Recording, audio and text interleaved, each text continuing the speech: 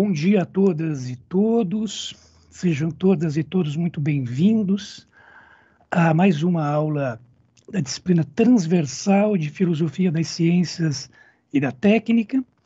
E hoje, hoje nós teremos um dia é, particular bastante especial, que nós teremos a presença de três pesquisadoras aqui conosco. E nós começamos exatamente com a professora Luciana Zaterk. Bom dia, professora. E a professora Luciana Zaterka, é, é, ela é inicialmente graduada em Química, né? A professora Luciana Zaterka, seguir, também tem uma graduação em Filosofia, é, é mestre em Química Orgânica, mestre também em Filosofia, então aí a gente já vem vendo a professora Luciana Zaterka. A professora Zaterka é doutora em Filosofia, né, pela Universidade de São Paulo, tem um pós-doutorado em História das Ciências. Né? E a professora Luciana Zaterka hoje é professora de Filosofia Moderna na Universidade Federal do ABC, né? e trabalha principalmente com os autores Bacon, Boyle, Spinoza, Locke, mas também né, na contemporaneidade autores como Nietzsche e também Hannah Arendt. Né? Então, a professora Luciana é também autora de uma dezena de artigos, de capítulos de livros de um livro importante sobre Bacon e Boyle e a filosofia experimental é, na Inglaterra é, do século XVII. Professora Luciana Zatera, que seja muito bem-vinda. É, é uma alegria recebê-la e partilhar com você é, a, sua, a sua fala. Então, com a palavra, professora Luciana. Professor Ronei, é, prazer gigantesco estar aqui com vocês todos hoje Gostaria de agradecer especialmente ao professor Débora Aimoré, que gentilmente fez esse convite para que a gente possa todos estarmos aqui hoje, nessa manhã.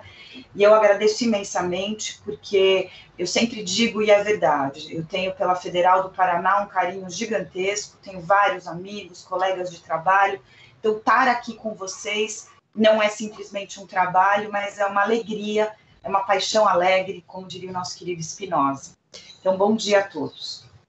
Bom, é, uh, talvez exatamente pelo que o professor Roney acabou de compartilhar, dizer, por causa da minha formação e dos meus interesses em química e filosofia, eu sempre tive uma vontade de aprofundar questões relativas ao mundo material ou à materialidade, em especial no início da modernidade. Por que o século XVII? Porque lá no 600, eu penso que se sistematiza uma visão de mundo em que o laboratório ganha um lugar fundamental para o compartilhamento de novas ideias, conceitos e teorias. Nesse momento, a gente sabe, a ciência deixa de ser privada para poucos adeptos e escolhidos, e a ciência de fato começa a se tornar pública. E o laboratório e em seguida as instituições científicas vão ter aí um lugar-chave razão experiência, teoria e prática, epistemologia, teologia, metafísica e política, meus interesses voltavam-se para essas questões no início da modernidade. Assim, desde o meu doutorado, de 98 a 2003, eu comecei de fato a aprofundar essa perspectiva de estudos. Elegi como tema norteador o trabalho de pesquisadores da Royal Society, eu estou pensando em especial aqui no Francis Bacon e no Robert Boyle, pensadores na época e ainda hoje, eu diria, pouco estudados, pelo menos em solo brasileiro. Com isso, eu penso que eu pude agregar os meus conhecimentos em química e filosofia. Até 2015, aproximadamente, eu fiquei circunscrita a esse horizonte temático. A partir de 2015, eu aumentei o meu leque de interesses, o meu leque de pesquisas, e comecei a estudar questões na interface entre filosofia da química e da biologia. Em especial, me interessou uma questão sobre a longevidade humana. Aqui, eu comecei a trabalhar o programa baconiano de conhecimento como uma proposta de longa duração. O corpo com bacon se torna um objeto técnico e essa perspectiva, eu penso, vai se radicalizar cada vez mais na contemporaneidade alcançando o movimento hoje conhecido como transhumanismo. A partir daí, eu comecei a estudar e orientar pesquisas também nessa interface. E, temas de cunho mais contemporâneo, na interface entre química, medicina e biologia, começaram a suscitar meu interesse cada vez mais, sempre tendo como de fundo, tendo, perdão, como pano de fundo, o programa baconiano de conhecimento. O sangue e suas transfusões, a questão absurdamente atual e problemática dos transgênicos, o dilema dos plásticos, a capilarização do, conheci do conhecimento químico seriam alguns desses temas. E hoje eu vou exatamente exemplificar um desses estudos para vocês.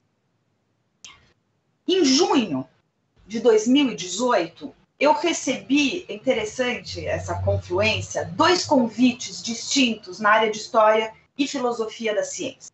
O primeiro veio exatamente por essa casa, pela UFPR, em especial pela Escola Paranaense de História da Filosofia e da Tecnologia, na pessoa do professor Eduardo Barra, que me convidou na época para ministrar, junto com outras três colegas, o curso principal da escola, homenageando os seus 10 anos.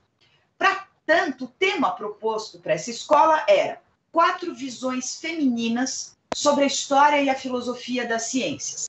E eu entraria então com a perspectiva da química. O segundo convite foi feito para a mesa de abertura do 11º encontro da AFIC. Eu não sei se vocês sabem, é a Associação de Filosofia e História da Ciência do Cono Sul, que ocorreu em Buenos Aires e homenageou então as mulheres na área de História e Filosofia das Ciências. E eu entrei então nessa mesa de abertura com um trabalho relacionado à ciência, à mulher e à revolução científica do século XVII. E eu faço aqui um breve parênteses porque esse momento de fato foi muito singular, pois no momento em que quatro mulheres lotavam o auditório da Universidade Nacional de 3 de Fevereiro, ocorria nas ruas de Buenos Aires uma linda e forte passeata apoiando a legalização do aborto, que estava então sendo votada naquele momento pela sessão da Câmara, que aliás demorou 20 horas e ganhou de 129 a 125 votos mulher, milhares, gente, de garotas adolescentes nas ruas aplaudindo e chorando, pois tinha sido aprovada a interrupção da gravidez até a 14ª semana. Bom, por fim, eu havia acabado de terminar um estudo exaustivo que me fez voltar a estudar química orgânica dura. Então, é, eu voltei a estudar química dura porque eu tive que fazer, eu quis fazer, eu desenvolvi um trabalho sobre os transgênicos, é, os organismos geneticamente modificados. Que, inclusive, felizmente, esse trabalho foi publicado no ano passado na revista da Estudos Avançados. Bom, que que, por que, que eu estou falando tudo isso? Porque esse estudo sobre os transgênicos me deu clareza do âmbito ainda reducionista em que opera a química contemporânea. Eu explico. Eu fiz uma análise do chamado princípio de equivalência substancial, princípio esse que se apoiam aqueles que são favoráveis ao uso dos transgênicos. Ele está conceitualmente estruturado na comparação quantitativa, ou melhor, é, quantitativa, de alguns componentes químico-biológicos da planta transgênica com a planta não transgênica.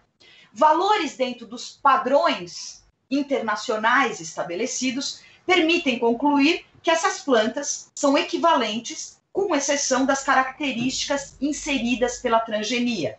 E dessa maneira, então, que essas novas plantas não apresentariam mais riscos do que as convencionais. Do ponto de vista químico, aparentes semelhanças de macro e microcomponentes de nutrientes e culturas geneticamente modificadas e seus homólogos convencionais estabelecidas por essa análise química, por mais sofisticados que sejam, nós chegamos a essa conclusão, não podem, não conseguem revelar a presença de componentes tóxicos desconhecidos, bem como, por exemplo, componentes alergênicos, que podem resultar, sabemos, de efeitos inesperados da inserção de um novo gene no genoma da planta. Nesse sentido, chegamos à conclusão que há uma necessidade da reestruturação científica do princípio de equivalência substancial, que leve em consideração outros fatores. De fato, nós observamos nesse estudo a importância de levar em consideração o que eu chamo a ecologia dos genes, ou seja, de se realizar um estudo no qual a regulação das funções metabólicas dos organismos esteja em estreita relação com uma ampla rede de sequências genômicas interdependentes, inclusive, gente, isso é fundamental, com fatores ambientais. Isso é necessário por quê? Porque as análises químicas propostas não conseguem realizar sozinhas os efeitos de cunho bioquímico, toxicológico e imunológico dos transgênicos. O interior de uma célula é totalmente diferente do interior de um tubo de ensaio. Os componentes que podem interferir e que podem ser eliminados na purificação podem ser cruciais para a função biológica ou para a regulação de uma determinada molécula. Os riscos, portanto, associados a uma determinada variedade transgênica dependem de algumas interações absolutamente complexas, decorrentes de modificações genéticas, da história natural desses organismos e também da propriedade dos ecossistemas. Esses riscos crescem e se tornam mais difíceis de serem analisados e controlados na medida, em claro, que a área de cultivo aumenta. Estamos no âmbito do ecossistema e não de uma única célula ou de um único tubo de ensaio. Assim, quando químicos ou biólogos moleculares afirmam que em determinadas OGMs não foram detectados efeitos adversos importantes, estão se referindo a análises efetuadas com pouquíssimas células. Ora, se tais investigações não conseguem dar conta, do ponto de vista químico, biológico, toxicológico, da investigação com poucas plantas, o que diremos da cientificidade dessas investigações em termos e escalas maiores, levando em consideração, por exemplo, propriedades ou regiões inteiras. Eu enfatizo: o problema do vivo, diferente da matéria inerte, é que ele envolve-se efetiva por meio de um grande número de caminhos que são, do ponto de vista causal e determinístico, inoperantes, o que implica, é claro, na dificuldade de explicações deterministas e completas. Assim, o princípio de equivalência substancial opera dentro de uma estratégia descontextualizada e, portanto, reducionista, que não consegue abordar os efeitos possíveis dos alimentos transgênicos na sua interação com as plantas, animais e com o meio ambiente. Por que, que eu estou falando tudo isso? Porque eu percebi, por meio desse estudo, os claros limites epistêmicos atuais para a resolução de problemas complexos. Isso significa o quê? Que a estrutura mecanicista que legitimou a revolução industrial, com todos os seus efeitos colaterais, seja no âmbito científico, social, econômico ou ético, perdeu a sua eficácia como fundamento explicativo.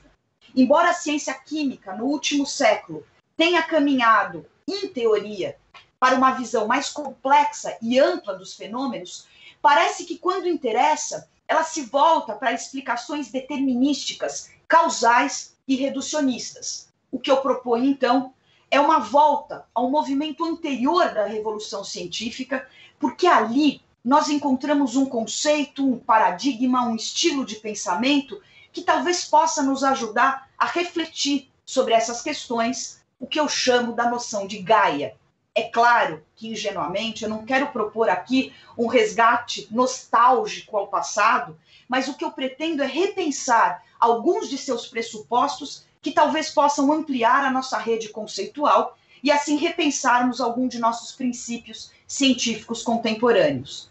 Acreditamos, então, que novas interpretações sobre o passado possam talvez fornecer perspectivas outras sobre os problemas e inquietudes do presente porque mesmo nessa época antiga, a relação do humano com a materialidade era completamente outra. Entrando então nessa proposta que eu faço, há pelo menos 7 mil anos convivemos com práticas, produtos e procedimentos ligados à matéria: cerâmica, metalurgia, corantes, medicamentos. As primeiras ideias sobre a possibilidade de transformar a matéria parece estar ligadas ao início da prática metalúrgica. Muitas civilizações antigas, como a egípcia e a chinesa, fizeram importantes uso dos metais, o que a gente sabe auxiliou no desenvolvimento de, da produção de alguns metais, materiais metálicos. Essas antigas tradições acreditavam isso é fundamental que pedras e minerais cresciam no ventre da terra. Olha essa imagem belíssima que eu trouxe para vocês. Por exemplo, sumérios e babilônios desenvolveram técnicas para se obter os metais a partir de minérios e produzir ligas metálicas como bronze. Essas técnicas sempre foram acompanhadas de cerimônias ou rituais, pois, por exemplo, para fundir o ferro, deveria se esperar o momento adequado, aquele no qual Marte influenciaria de maneira efetiva tal fundição. Assim, para se operar com o âmbito da materialidade, há necessidade de uma sabedoria profunda, qual seja a de compreender e explicitar as relações cósmicas entre o humano e a matéria. As sociedades agrícolas antigas operavam também com uma concepção animista de natureza. Nesse sentido, a natureza seria a deusa, cujo ventre fértil geminariam as sementes. Como enfatiza Mircea Eliade no seu clássico Ferreiros e Alquimistas, o universo metalúrgico na antiguidade possuía um universo mental próprio. Acreditava-se que as substâncias participavam da sacralidade da Terra-mãe. É por isso essa afirmação que eu trouxe para vocês de que cresciam no ventre da Terra como se fossem literalmente embriões. O início da citação diz: a metalurgia adquire um caráter obstétrico. Isso é fortíssimo, gente. Essa concepção embriológica obstétrica será fundamental para mineiros, metalúrgicos, agricultores, ferreiros e alquimistas. Para todos eles, o que subjaz às suas relações com a matéria é, sobretudo, uma relação, digamos assim, mágica e simbólica. Essa concepção de matéria tem como fio condutor a crença de que ela é viva e sagrada e, portanto, ela é movida por uma alma. De fato, a mulher, a grande mãe, a mãe terra eram conceitos chaves para homens e mulheres de ciência compreenderem e interagirem com os fenômenos do universo e seus respectivos reinos animal, vegetal e mineral. A Mãe Terra comandaria esses reinos como uma alma universal ou anima mundi. Ao alquimista, ao minerador, cabia o papel sagrado de entrar em contato com esse âmbito vivo, com esse âmbito de sacralidade e aos poucos desvendar os seus mistérios para auxiliar nos seus processos de crescimento e maturação. A Mãe Terra, então, guarda em seu ventre os embriões metálicos que, como sementes, vão se desenvolver e se transformar. Eis a base da suposição de que um metal pode vir a se transformar em outro, seguindo os diversos graus de maturação que vão do cobre ao ouro, produto então final dessa elaboração. O que eu quero enfatizar é que a imagem da gestação é tão forte que se acreditava que se nada obstruísse o processo natural, a natureza transformaria qualquer material em ouro. O importante dessa discussão é que o feminino, o vivo, o útero, a mulher são constitutivos de uma visão ontológica e cosmológica dessa materialidade e de natureza. Não é menos importante, por exemplo, que para essa tradição alquímica os fornos sejam verdadeiros úteros artificiais nos quais o mineral vai completar sua gestação. O martelo, a pá, o fole, a bigorna apresentam-se como instrumentos literalmente animados. Temos um paradigma animista, orgânico e mágico, no qual o feminino e todas as suas representações possuem um lugar privilegiado e fundante das inúmeras imagens que poderíamos utilizar para esclarecer essa cosmovisão, a de Urbani, elaborada no século XVIII, nos chama muito a atenção, pois por meio dela, eu gostaria que vocês observassem, podemos observar essa linda, imponente Mãe Terra, representada por meio de três partes de seu corpo, o domínio do animal, vegetal e mineral. Ela germinaria e comandaria assim esses três reinos como uma alma universal. O corpo pode ser lido também como um forno no quais metais e sementes irão nascer e se produzir. Todos os reinos, por meio dela, estão, como vocês podem observar, interconectados, com uma finalidade clara, qual seja propiciar a divina fecundação. Ora, ao lidar então com uma concepção de matéria viva e ativa, agricultores, metalúrgicos e alquimistas extrapolam o âmbito da técnica pois a eles cabe uma série de rituais mágicos. Eu cito: os fornos constituem um novo útero, um útero artificial onde o mineral completa a sua gestação. Daí o número infinito de precauções, tabus e rituais que acompanham a fusão. Nesse sentido, a arte alquímica acabou por criar em nós um sentimento de confiança e até mesmo de orgulho. Homens e mulheres sentem-se capazes de colaborar na obra da natureza, de auxiliar os processos de crescimento que se efetuavam no seio da terra. Alquimistas apressam e aceleram o ritmo das lentas maturações ctonianas. Em outras palavras, gigantescamente, eles acreditam alterar a temporalidade natural. É por isso que, durante muito tempo, os alquimistas foram chamados de senhores do fogo, pois com a ajuda do calor, eles conseguiam alterar o estado da matéria, acelerando seu crescimento. O que torna os textos alquímicos tão difíceis de serem interpretados por nós contemporâneos é que as operações, os processos, as metamorfoses descritas dizem respeito ao mesmo tempo ao que o alquimista realiza em seu laboratório, o âmbito direito aqui da imagem, e as etapas sucessivas, digamos, de uma sese espiritual, o trabalho de oratório na imagem do lado esquerdo. Assim, num primeiro momento, deve-se, sobretudo, olhar para si mesmo com prudência e profundidade. Se for honesto e um verdadeiro adepto, perceberá que a raiz de todas as questões é o desconhecimento quase absoluto do que é o mais importante, o seu verdadeiro eu.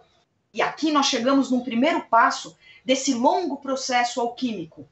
O segundo consiste em olhar para o exterior, em observar de forma ativa, independente e interconectada o mundo. Olha essa imagem gigantesca, gente. Aqui, dois aspectos: o interior e o exterior. O introvertido e o extrovertido são de fato indissociáveis nessa longínqua tradição. Essa perspectiva pode ser ilustrada pela obra do renascentista Robert Fludd, importante alquimista neoplatônico que criou uma imagem do macrocosmo animado por uma alma feminina. Retratou assim a alma do mundo como sendo uma mulher que seria, sobretudo, a mediadora viva desse nosso cosmos. Ela está, como vocês podem observar, conectada por meio de sua mão direita a Deus, representada na imagem pelo tetagrama hebraico, transmitidas por uma corrente de ouro para o mundo terrestre abaixo, representado, aliás, por um macaco, ou seja, um ser totalmente governado por forças instintivas do reino animal. Nesse sentido, essa mulher fundamenta tanto a alma do mundo como constitui de fato a capacidade de germinação e, portanto, de transformação e crescimento de metais e minerais. Podemos notar, então, que alquimistas possuíam um pensamento dominado pelo simbolismo cosmológico, criando assim uma experiência do mundo completamente diferente daquela que possui nós, modernos e contemporâneos. Para esse pensamento simbólico, o mundo não só está vivo, como aberto, ou seja, um objeto nunca é simplesmente ele mesmo, mas ele é receptáculo de algo diferente, de uma realidade que transcende o plano de ser do objeto. Assim, nós só compreendemos, de fato, o processo de transmutação se tivermos como pano de fundo a ideia dessa realidade que transcende o próprio objeto. Tanto é assim que um tema que perpassa toda a arte alquímica é o do sofrimento, morte e ressurreição da matéria, a transmutação, ou seja, a opso magnum que conduz à pedra filosofal, é alcançada fazendo-se passar a matéria por várias fases que eu trouxe aqui para vocês: o preto, o branco, o amarelo, o vermelho. E o interessante, isso é gigantesco, é que ao contrário do que poderíamos pensar, embora haja um predomínio do âmbito feminino nessa cosmovisão, no universo alquímico não há uma exclusão do âmbito masculino e nem poderia haver. Afinal, as etapas mencionadas requerem um processo de fusão, de união importantíssimo. Por exemplo, essas ilustrações relativas às árvores dos filósofos apontam claramente para essa fusão, essa união que requer dois elementos, um masculino e outro feminino. Tanto é assim que, para o objetivo do iniciado ser alcançado, ele tem que utilizar os fornos, que, como vimos, são verdadeiros úteros artificiais em que os minerais irão completar a sua gestação, grande parte, aliás, possuindo elementos masculinos e femininos, pois são neles que o casamento químico irá ocorrer. E agora eu me encaminho, então. Eu tenho cinco minutos, professor Ronei, para me encaminhar para o final? Sim, tem cinco minutos, professora. Fique à vontade. Essa visão de natureza, de maneira geral, vai prevalecer até o início da modernidade. O que acontece na modernidade? É impensável, né, matarmos uma mãe. Não se cava suas entranhas e mutila seu corpo facilmente. Ainda mais se os motivos são absolutamente transitórios e fugazes, como adquirir ouro e prata. Enquanto a terra, a Gaia, fosse considerada sagrada, viva, ativa, sensível, seria uma violação ética realizar atos destrutivos contra ela. As minas, como vimos, eram considerados verdadeiros úteros, e a metalurgia era assim um processo de aceleração humana do nascimento de um metal vivo no útero artificial da fornalha. O que aconteceu do ponto de vista epistêmico é que essa visão inicial de natureza como mulher, que alimentava, germinava e fertilizava a terra, foi dominada aos poucos por uma outra perspectiva que também existia desde então, mas que não era dominante, qual seja a imagem de uma natureza selvagem e, portanto, desordenada, dominadora, incontrolável, que propiciava trovoadas, violências e caos. Eu trago, peço perdão por essa longa citação, mas ela é fundamental para o nosso núcleo argumentativo, no seu The Dead of Nature. Caroline, vocês podem acompanhar, afirma, mas uma outra imagem oposta da natureza como mulher também prevalecia. Natureza selvagem e incontrolável que poderia causar violência, tempestades, secas e caos. Ambas foram identificadas com o sexo feminino e foram projeções das percepções humanas sobre o mundo externo. A metáfora da terra como mãe, que amamenta, desapareceu gradualmente como imagem dominante à medida que a revolução científica mecanizou e racionalizou a visão do mundo. A segunda imagem, a natureza como desordem, trouxe uma importante ideia moderna, qual seja o poder sobre a natureza. Duas novas ideias do mecanismo e da dominação da natureza tornaram-se conceitos centrais da modernidade. Uma mentalidade organicamente orientada na qual os princípios femininos desempenhavam um papel importante, foi minada e substituída por uma mentalidade mecanicamente orientada que ou eliminada ou usava princípios femininos de uma maneira exploradora. À medida que a cultura ocidental se tornava cada vez mais mecanizada nos anos 1600, a terra feminina e o espírito terreno virgem foram subjugados pela máquina. Fim de citação. Assim, encaminhando para a conclusão, a transformação que podemos observar a partir dos 600 com relação à cosmologia alquímica para a cosmologia química está claramente relacionada às alterações nas atitudes e comportamentos de nós humanos em relação à Terra, aos fenômenos do mundo natural e, portanto, ao âmbito da materialidade. É claro que as razões que levaram a isso são inúmeras e não é nosso objetivo esgotá-las nova cosmologia com a queda do geocentrismo e, portanto, a retirada da Terra como locus privilegiado do mundo, a matematização da natureza, o experimentalismo e o desenvolvimento de instrumentos tecnológicos, o ritmo alucinante da sociedade industrial, a emergência do paradigma patriarcal que fez sabemos com que o Criador, a divindade, se tornasse eminentemente masculino e como desdobramento desse último, a busca pelo além, pela transcendência, pela eternidade e o desprezo cada vez maior pelo corpóreo e, portanto, um desrespeito pela própria terra e sua respectiva materialidade.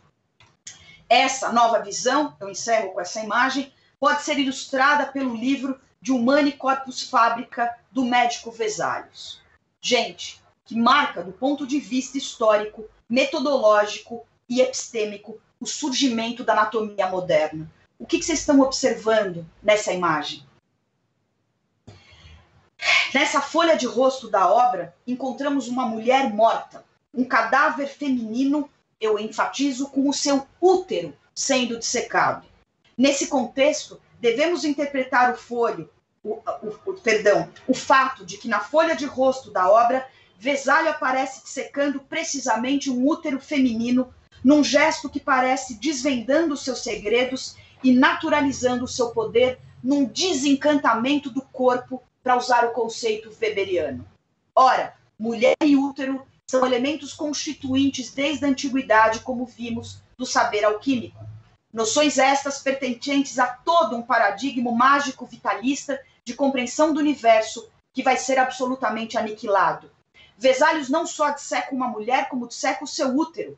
Na terminologia de Sadway, a introdução de uma cultura da dissecação provocará uma virada epistemológica na qual o experimento propiciará uma anatomização do indivíduo e o modelo do vivo será daqui por diante o cadáver. A modernidade chegou e com ela o paradigma de um novo modelo de ciência que eliminará o reino do sagrado, da terra-mãe e, portanto, de uma concepção de materialidade ativa. Ao longo dos séculos XVI, XVII e XVIII, os saberes alquímicos irão gradativamente perder o seu lugar e entra em cena a química moderna. Os segredos e ritos serão substituídos pelo caráter público, protocolar e sistemático desse novo modelo. Nesse sentido, nós não somos mais vistos como partícipes de um mundo orgânico, no qual apresentávamos rituais e cuidados, afinal, antes tínhamos o vivo e o sacralizado. Frente à dicotomia nascente entre natureza e humano, a natureza se transformou em simples extensão e movimento, passiva, eterna, reversível, constituída de simples elementos que podemos a qualquer momento desmontar e depois relacionar sobre a forma de leis. Junto com Descartes e Bacon, nos tornamos ministros e intérpretes da natureza. A partir daqui, observamos somente uma ênfase no caráter extrovertido da natureza e aos poucos a natureza e o corpo humano vai se tornar cada vez mais um objeto técnico e a partir daí todo o paradigma feminino vai ser substituído por um paradigma masculino e controlador. Muito obrigada. Professora Luciana, somos nós que agradecemos, maravilhoso. Privilégio mergulharmos nessa racionalidade alquímica, nesse paradigma feminino da alquimia. Muito, muito grato e voltamos às questões eh, na sequência. Tá? A gente volta a conversar. Mas mais uma vez, muito obrigado e, e, e parabéns pela belíssima, pela belíssima fala, professora. É, agora a gente vai passar para uma outra fala da professora Débora Aimoré. Bom dia, professora Débora. E a professora Débora, a professora Débora é bacharel em Direito, né, pela Universidade Federal é, do Pará é especialista em filosofia e epistemologia das ciências humanas, também pela Federal do Pará, é doutor em filosofia das ciências pela Universidade de São Paulo, né, com estágio na Universidade de Miami, experiência americana. É, a professora Débora foi também professora substituta na Universidade do Estado do Amapá, né, e agora é nossa colega, professora substituta aqui na Universidade Federal do Paraná, no nosso, no nosso departamento, nós temos esse privilégio. A professora Débora também tem uma dezena de artigos, capítulos, livros publicados. Então, professora Débora, seja, claro, você está na casa, você está na organização, mas essa manhã você vai estudar, nós fazemos toda a honra a você e muito bem-vinda para essa sua fala. Tem a palavra, por favor. Ok, professor Ney, muito obrigada. Então, muito bom dia a todas e a todos. É uma satisfação enorme né, poder compartilhar um pouco sobre as pesquisas que eu venho fazendo em paralelo, justamente com a atividade docente, e me pareceu que nada mais justo do que compartilhar esse espaço, né, esse tempo, na verdade, de apresentação que me foi disponibilizado, com duas professoras que, na verdade, são bastante influentes nesse trabalho que eu venho desenvolvendo, então, talvez desde o final do doutorado. Então, a professora Luciana, por um lado, e a professora Ilse, por outro lado, vem de fato apenas a enriquecer e aprofundar um debate que eu venho tentando desenvolver enquanto pesquisadora. Então, meu agradecimento imenso a essa oportunidade de compartilhar então algumas ideias com vocês. Então, vejam, eu gostaria de inicialmente retomar a questão que nós levantamos quando nós justamente apresentando essa disciplina transversal, né, que trata justamente sobre essas filosofias da ciência e da técnica ou da tecnologia. Mas veja, o ano de 2020, então, ele poderá ser lembrado, me parece, por muitos acontecimentos sociais e, por que não dizer, por acontecimentos históricos relevantes. A pandemia do Covid-19 nos trouxe uma série de desafios para a saúde, para a educação, para a interação entre as pessoas, para o nosso modo de vida em geral. Talvez, neste contexto, o papel da filosofia também esteja em vias de ser lembrado, pois, em sua capacidade reflexiva, sensível às questões humanitárias, como no caso daquelas oriundas justamente da pandemia que nós vivenciamos, nós nos questionamos, entre outras coisas, sobre o ser humano que somos e sobre o ser humano que queremos ser ou gostaríamos de ser, sobre as condições de vida que temos e sobre as condições de vida que queremos ter. Trata-se, portanto, por um lado, de uma reflexão filosófica sensível aos contextos, sejam estes contextos individuais, se nós pensarmos de um ponto de vista biográfico, ou mesmo coletivos, se nós pensarmos de um ponto de vista social. É ainda um tipo de reflexão que segue um ritmo, e foi esse o ponto justamente que eu levantei quando apresentava essa terceira parte da nossa disciplina. A filosofia me parece ter um ritmo que poderia ser considerado lento, e, no entanto, essa sua lentidão própria ela pode ser acelerada, este ritmo, portanto, acelerado, em virtude justamente de certas condições externas, sejam essas condições externas individuais, sociais ou históricas. Então, vejam, eu gostaria de, primeiramente, compartilhar qual seria o pressuposto da minha apresentação. O meu pressuposto é de que a reflexão filosófica é e continua sendo acelerada a partir da interação que a modernidade desenvolve com a ciência, com a tecnologia. As divisões históricas da modernidade ganham contornos talvez um pouco mais precisos, caso consideremos a primeira modernidade como constituída a partir de Galileu Galilei, Blaise Pascal, Francis Bacon, René Descartes, e, além disso, que vão constituir aquilo que justamente a partir da apresentação da professora Luciana, nós vamos identificar como sendo um processo ou um programa de controle sobre a natureza. Então, nós poderíamos considerar esse conjunto de autores como uma espécie de cofundadores da ciência, embora talvez eles próprios não fossem capazes, se não por um exercício da imaginação, de vislumbrar a realização do projeto que estavam propondo. Eu penso aqui, em especial, né, na utopia, por exemplo, descrita na obra Nova Atlântida, de Francis Bacon, que explicita, entre outras ideias, a formação das comunidades científicas, do controle experimental sobre a natureza, entre outras ideias. Então, notem, a ciência, quando vinculada a isso que nós estamos chamando então de um programa baconiano, tal como estruturado a partir do século XVII, mas nós poderíamos dizer que influente até os nossos dias, é desenvolvido para proporcionar, e esse seria talvez o seu objetivo, a melhoria das condições de vida humana. O que implica, entre outras coisas, o que bem destacado pela professora Luciana, o aumento da longevidade. Mas o que, o que isso implicou, nós poderíamos nos colocar as questões filosóficas, né? o que isso implicou, ou ainda implica, por exemplo, para a natureza de que fazemos parte, para os animais não humanos e outros seres vivos com que convivemos ou coexistimos, e, finalmente, para o próprio convívio entre os seres humanos e para a nossa autocompreensão. Sabemos de antemão que essas questões elas não são tratadas exclusivamente pela filosofia. Se pensarmos, por exemplo, na interação com a natureza, a ecologia teria informações valiosas a nos relatar, por exemplo, sobre o equilíbrio ou desequilíbrio que a ação humana pode provocar, nos sensíveis ecossistemas que compõem a biosfera. Se pensarmos na interação entre animais humanos e não humanos, ou entre seres vivos e o, e o meio, é possível então lembrar da primatologia ou da biologia molecular, nos estudos que realizam a partir do comportamento dos primatas, ou ainda ao demonstrar certas semelhanças ou mesmo diferenças na constituição genética das espécies. Se pensarmos finalmente a interação entre os seres humanos, nós podemos lembrar da psicologia, em sua função de nos auxiliar na compreensão de nós mesmos, da nossa condição subjetiva, para inclusive melhor interagirmos com outras pessoas.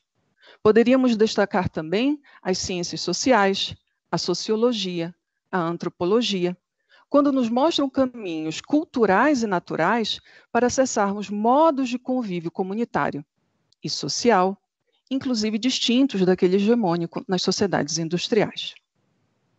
Então, é por essas e outras questões, amplas e altamente complexas, que na filosofia, nas ciências e nas tecnologias, muitas vezes se configuram certos programas de pesquisa coletivos, uma pessoa, ao longo do período de duração de sua vida, dificilmente conseguiria esgotar a complexidade sobre o que é o ser humano, sobre o meio em que vive, sobre a elaboração cultural que desenvolve, seja nas disciplinas acadêmicas, ou seja a partir do diálogo de saberes. Então, notem que depois dessa breve apresentação inicial, que nada quer além de motivá-los a perceber várias conexões, várias questões que poderiam ser utilizadas como base, por exemplo, para a redação do trabalho final de vocês que estão matriculados na disciplina. Mas notem que é preciso colocar a questão filosófica que vai guiar de um modo mais específico a minha apresentação. Eu gostaria de falar um pouco sobre se a filosofia ela teria se tornado ciborgue. O título ele pode parecer altamente curioso, pois nos leva justamente a falar de ciborgues, mas também de epistemologia feminista e da própria filosofia, que teria então o seu ritmo reflexivo acelerado a partir da interação com as ciências e com as tecnologias.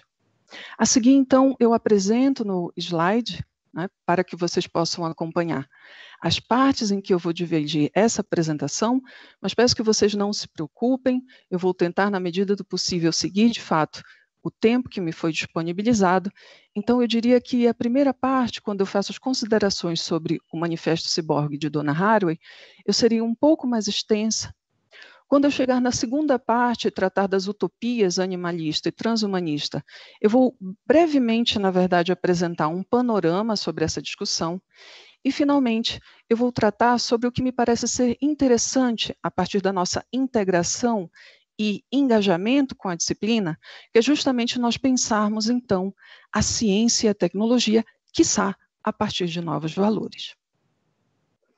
Então, podemos seguir justamente para a apresentação breve, porém interessante, instigante, sobre o Manifesto Ciborgue, e nós falaremos também nessa parte, justamente, um pouco sobre epistemologia feminista. Então, vocês têm aí no slide, justamente, a imagem da autora do Manifesto Ciborgue, que é a professora Donna Haraway, professora emérita da Divisão de Humanidades da Universidade da Califórnia, Santa Cruz. Haraway, por intermédio de seu texto, nos permite que abordemos dois assuntos, pelo menos, a imagem de ciborgue e a epistemologia feminista. Notem que a epistemologia feminista, tal como a filosofia das ciências, ela move-se sempre entre dois sistemas, se é que a gente poderia colocar de uma forma dicotômica como esta. Mas, de um lado, nós podemos caracterizar como sistema hegemônico aquele representado pelas disciplinas que se vinculam, por exemplo, ao programa baconiano. E contemporaneamente, e aí eu vou pedir a licença para estender um pouquinho justamente essa análise do programa baconiano, colocando então a questão da tecnociência também como parte desse sistema hegemônico. Esse termo, tecnociência, ele é empregado inicialmente pelo filósofo belga Gilbert Otto, em 1948, referindo-se a um tipo de pesquisa contemporânea em que a técnica, o espaço e o tempo técnicos que nos circunstanciam por todos os lados, constitui, portanto, uma espécie de meio natural do desenvolvimento, bem como o seu princípio motor. Então, notem que, em certo sentido, o próprio programa baconiano é adaptado, ou, se quiserem, melhorado a partir do aumento da capacidade técnica de intervenção na natureza. Em certo sentido, chegamos à redução do biológico à informação. Na medida em que, segundo Haraway, o organismo é traduzido em termos de problemas de codificação, genética e de leitura de códigos, englobando técnicas advindas do programa NBIC, ou seja, relativos às nanotecnologias, às biotecnologias, às tecnologias de informação e às ciências cognitivas, na convergência entre ciência, técnica e sociedade. Cabe destacar, então, que a epistemologia feminista reforça a compreensão de que a ciência como corresponsável pela melhoria das condições de vida, pode estar engajada com a produção de conhecimento a partir de sistemas não hegemônicos, como, por exemplo, o sistema da agroecologia, o ecofeminismo, entre outros exemplos. A partir, portanto, de outros valores, mostrando-se reflexível e sensível em relação àquelas consequências que já são sentidas pelo sistema hegemônico, configurado, portanto, pela tecnociência, seja para nossa vida individual ou coletiva.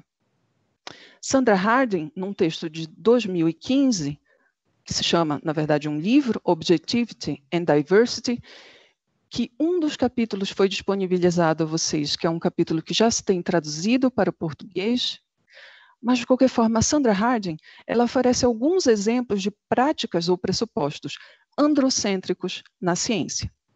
Na biologia, as diferenças destacadas entre o corpo feminino em relação ao masculino, por exemplo, ao analisar os sistemas hormonal e reprodutivo, como também o tamanho dos cérebros, sendo que, por vezes, os processos biológicos femininos, tais como menstruação, gravidez, menopausa, são tratados como problemas a serem farmacologicamente tratados.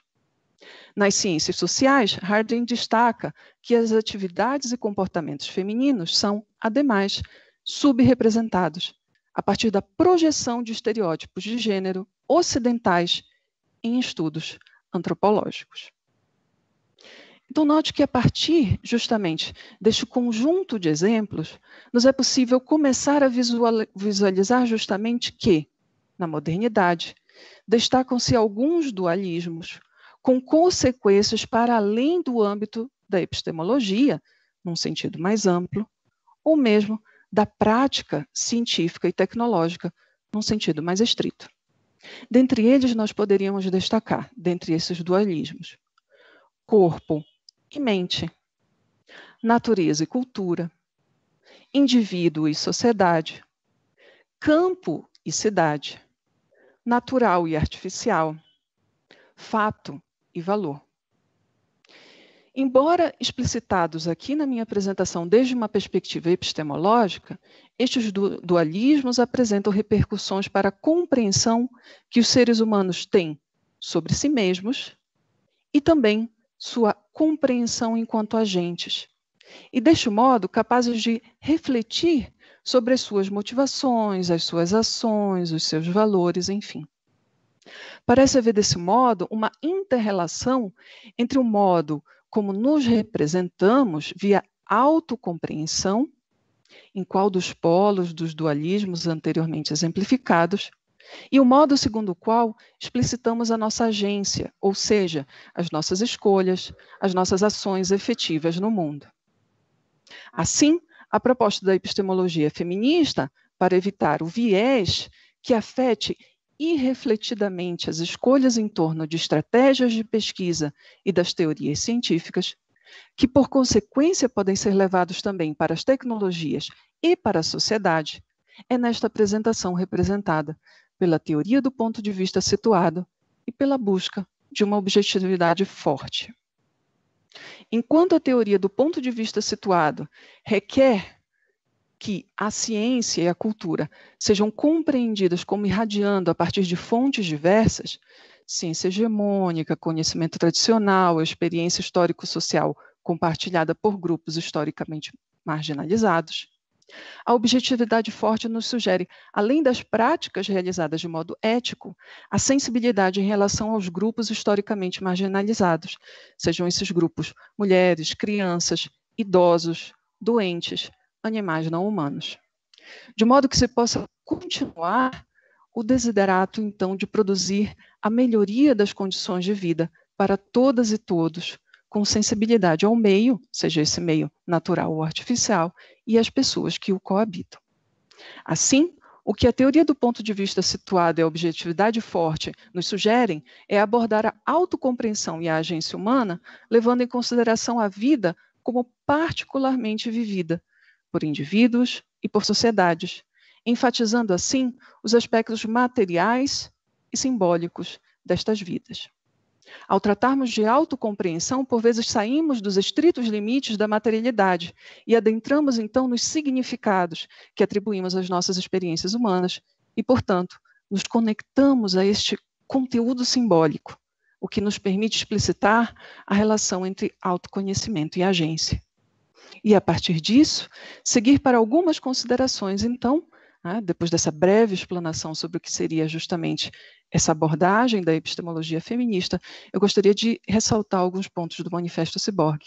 É, só apontando que, caso queiram né, ler um pouco mais sobre essa questão desses dois elementos, material e simbólico, que nos co-constituem, eu sugiro a leitura, então, da obra A Dominação Masculina, do Pierre Bourdieu, sendo uma fonte possível, justamente para trabalhar essa questão.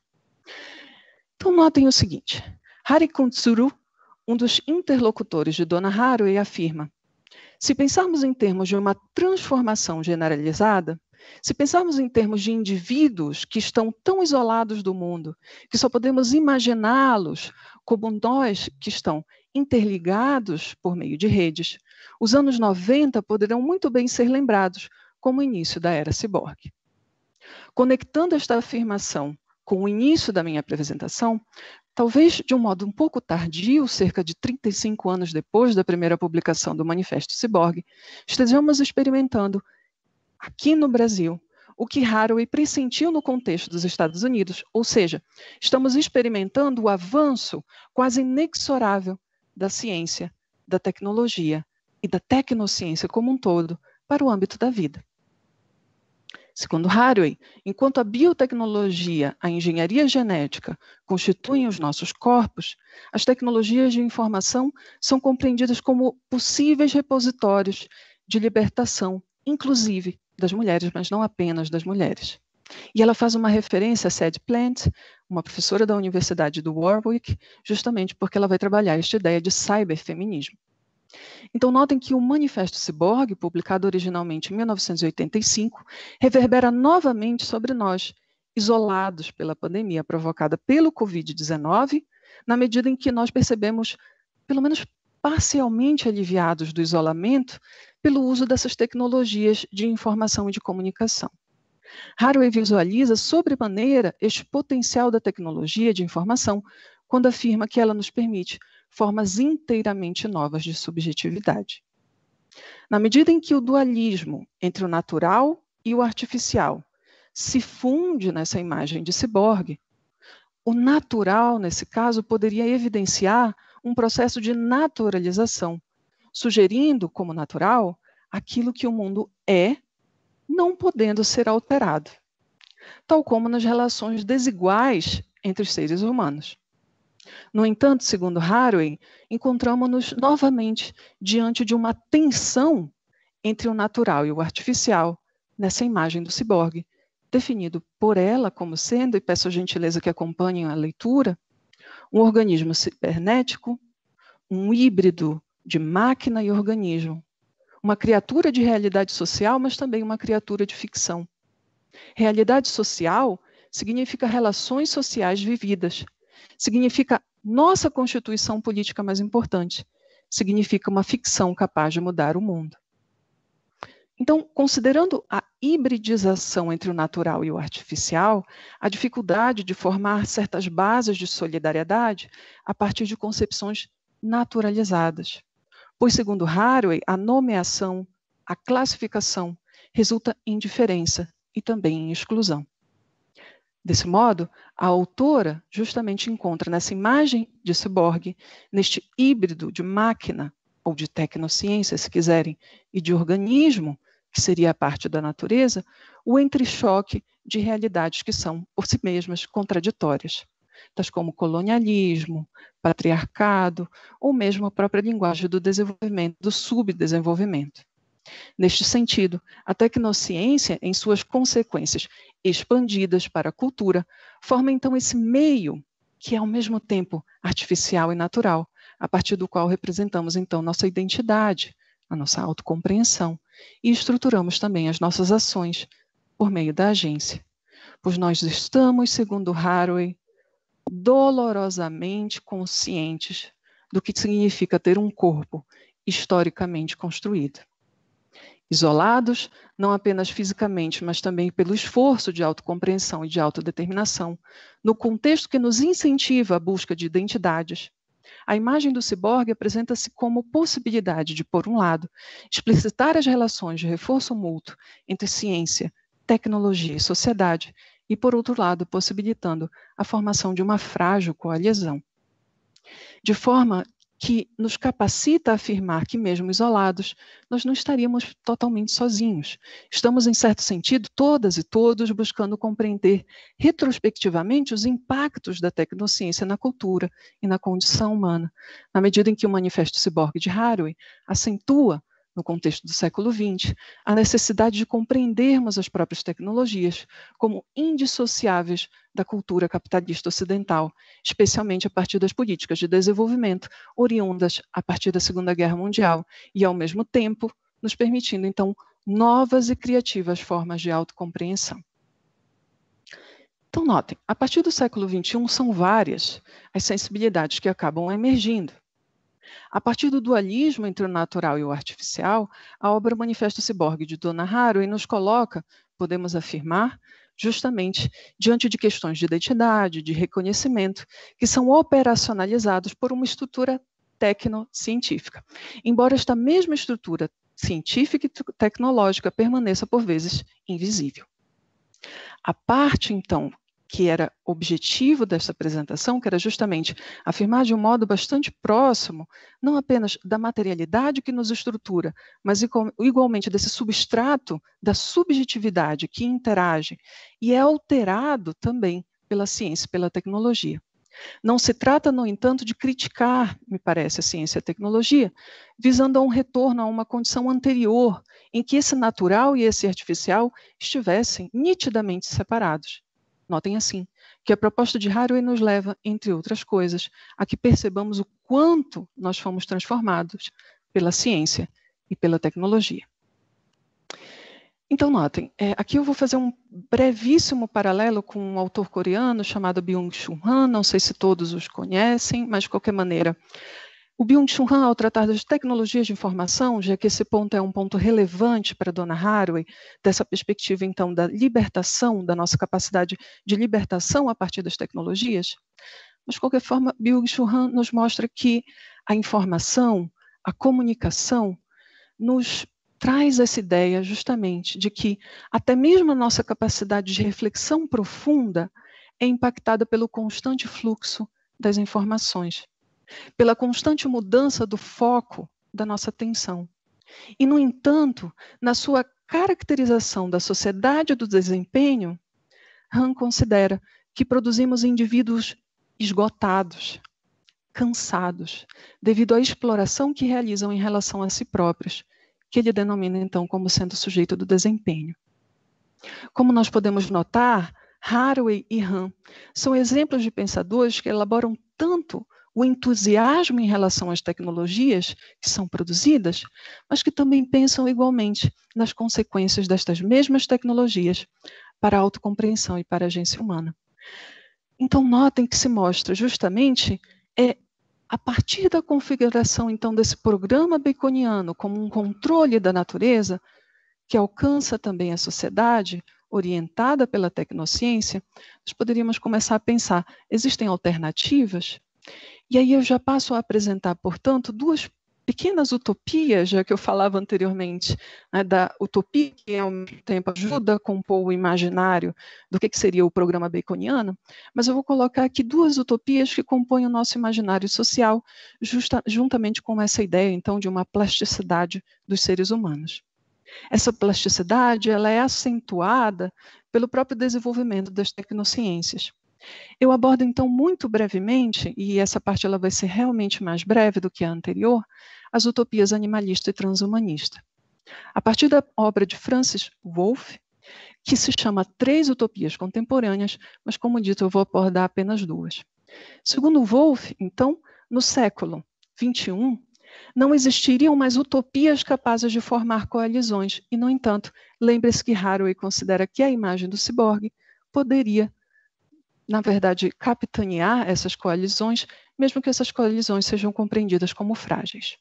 Há, segundo Wolff, então, a partir da Segunda Guerra Mundial, o desenvolvimento dos direitos sociais, que dizem respeito, portanto, a algum tipo de prestação pelo poder público, por exemplo, em relação à saúde, em relação à educação, em relação ao trabalho. Nós buscamos, assim, diferentes modos de reconhecimento, o que faz com que, segundo Wolff, não tenhamos mais que nos realizar por e na comunidade política, e não aspiramos mais nos confundir com ela. Nessa justamente busca entre identidade e reconhecimento, Wolff admite, tal como Haraway e Han, a interrelação contínua com a tecnociência, a afirmar, mesmo a partir de uma vaga noção de humano, nessa interrelação entre o natural e o artificial, entre o animal e a máquina, duas utopias que seriam então geradas a partir de uma ideia de infra-humano e a partir de uma ideia de supra-humano. Então, em relação à utopia pós-humanista ou transhumanista, nós poderíamos colocá-la, então, como sendo esse projeto de melhoramento infinito das capacidades físicas, intelectuais e morais dos seres humanos. Então, tem toda essa convergência das nanotecnologias, biotecnologias, informática, ciências cognitivas. Então, notem que o objetivo é justamente de superação do envelhecimento biológico e também da própria condição da mortalidade, que dariam então origem ao que se está supondo aí como sendo esses pós-humanos. Mas notem que, na verdade, desde o século XIX, o progresso técnico e científico, especialmente o biomédico, permitiu então a melhoria das condições de existência humana. E, no entanto, a utopia pós-humanista, ao buscar justamente a superação das limitações da condição natural, considera que a libertação só será possível por meios técnicos. Do ponto de vista da medicina, por exemplo, ela é compreendida não apenas como uma prevenção e como cura, mas estaria também centrada no melhoramento. E assim, a utopia começa então a partir do momento em que se melhorar as funções naturais e não apenas se pretende então corrigir as disfunções causadas pela idade ou por certas deficiências. Supõe-se, então, um construtivismo tecnológico, que poderia ser caracterizado, então, por uma espécie de criação de um vivente mecânico, criar a animalidade a partir do biótico, simular o humano pela informática, da linguagem, pela inteligência artificial, pelas neurociências. Então, notem que nós estaríamos justamente, quando falamos de pós-humano, falando também de uma superação do humano, então, agora, muito brevemente, vamos falar da utopia animalista, que é colocada, então, a partir do polo do infra-humano. A utopia animalista é definida, então, pela ideia de libertar os animais. A humanidade do futuro, ela não utilizará mais os animais ou os produtos derivados deles para satisfazer as suas necessidades, seus desejos e seus caprichos. Paralelamente, então, libertar os animais não humanos compreende-se então como uma forma também de libertar a humanidade em relação a si própria. Então, notem justamente que a ideia fundamental é uma ideia de anti-especismo, que é colocada, obviamente, pelo filósofo australiano Peter Singer, numa ideia de que não existiria, portanto, uma diferença essencial entre o homem e os outros animais. É, eu não gostaria de invadir demais o tempo disponível para minha fala e disponibilizar também a fala para a professora Ilse, mas é importante ressaltar apenas, a modo de finalização, justamente a ideia de que, segundo Haraway, né, muito embora nós estejamos, então, implicados na tecnociência, a tecnociência ela está em tudo na contemporaneidade, mas, ao mesmo tempo, ela não é tudo. Então, já no final da minha apresentação, eu apresento justamente a ideia de que essa emergência dessas novas sensibilidades elas nos mostram, por um lado, então, a relação com essa ideia de uma condição humana, justamente como interação da tecnociência, mas também, por outro lado, se nós levarmos em consideração a utopia animalista, as condições também de vida animais. Então, notem que a partir dessa pequena proposta de uma interação, portanto, entre a ciência e os valores, entre a epistemologia feminista e o ponto de vista situado, nós teríamos então a ideia de uma objetividade forte, justamente porque ela parte das perspectivas menos valorizadas na atualidade pelo sistema que eu caracterizei como sendo um sistema hegemônico.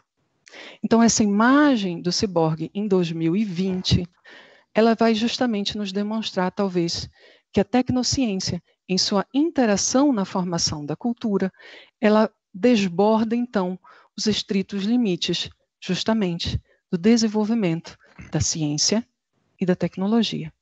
Então, muito obrigada, professor Ronei, obrigada a todas e todos pela paciência e peço mil perdões se eu ultrapassei muito o tempo que me havia à disposição. Tá Perdão é sempre disponível, professora. É, agradecemos muitíssimo, maravilha, agradecemos, e não se preocupe quanto ao tempo. É, mas eu passo imediatamente, eu convido a professora Ilse Zirbel, e a professora Ilse, a professora Ilse é graduada, também eu vou aqui valorar a sua, a sua formação, que eu achei bastante assim, genial, Ilse, porque você vai em vários domínios, né? Você é graduado em História, você é graduado em Teologia, né?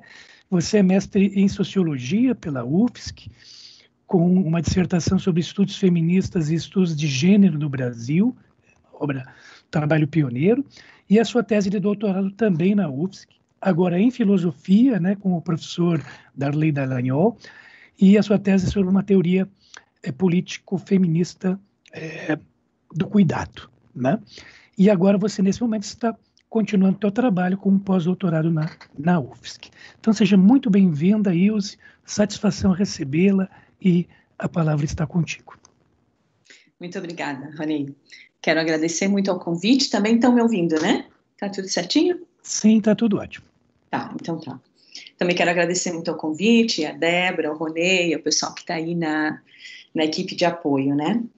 Então, é, gostaria de, de, dizer o seguinte: é, justamente a apresentação que eu vou fazer para vocês é, é, de algo que surgiu é, como um, um, paralelo, em paralelo a, ao meu doutorado, no meio da minha pesquisa do doutorado, né?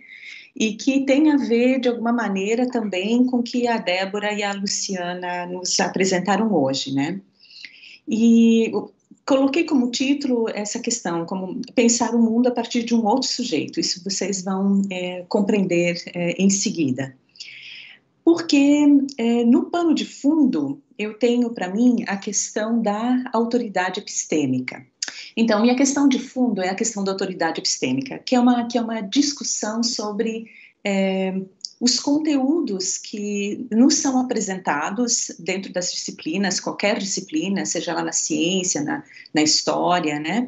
É, que tem a ver com a escolha dos conteúdos, com quem nós vamos ouvir, quem nós vamos valorizar, porque uma determinada pessoa tem um, um status é, específico, né, de porque que o que ela diz vale, enquanto que outras pessoas ou outros tipos de conhecimento são desqualificados. Essa questão está atrelada a, essa, a esse problema né, essa, da autoridade epistêmica.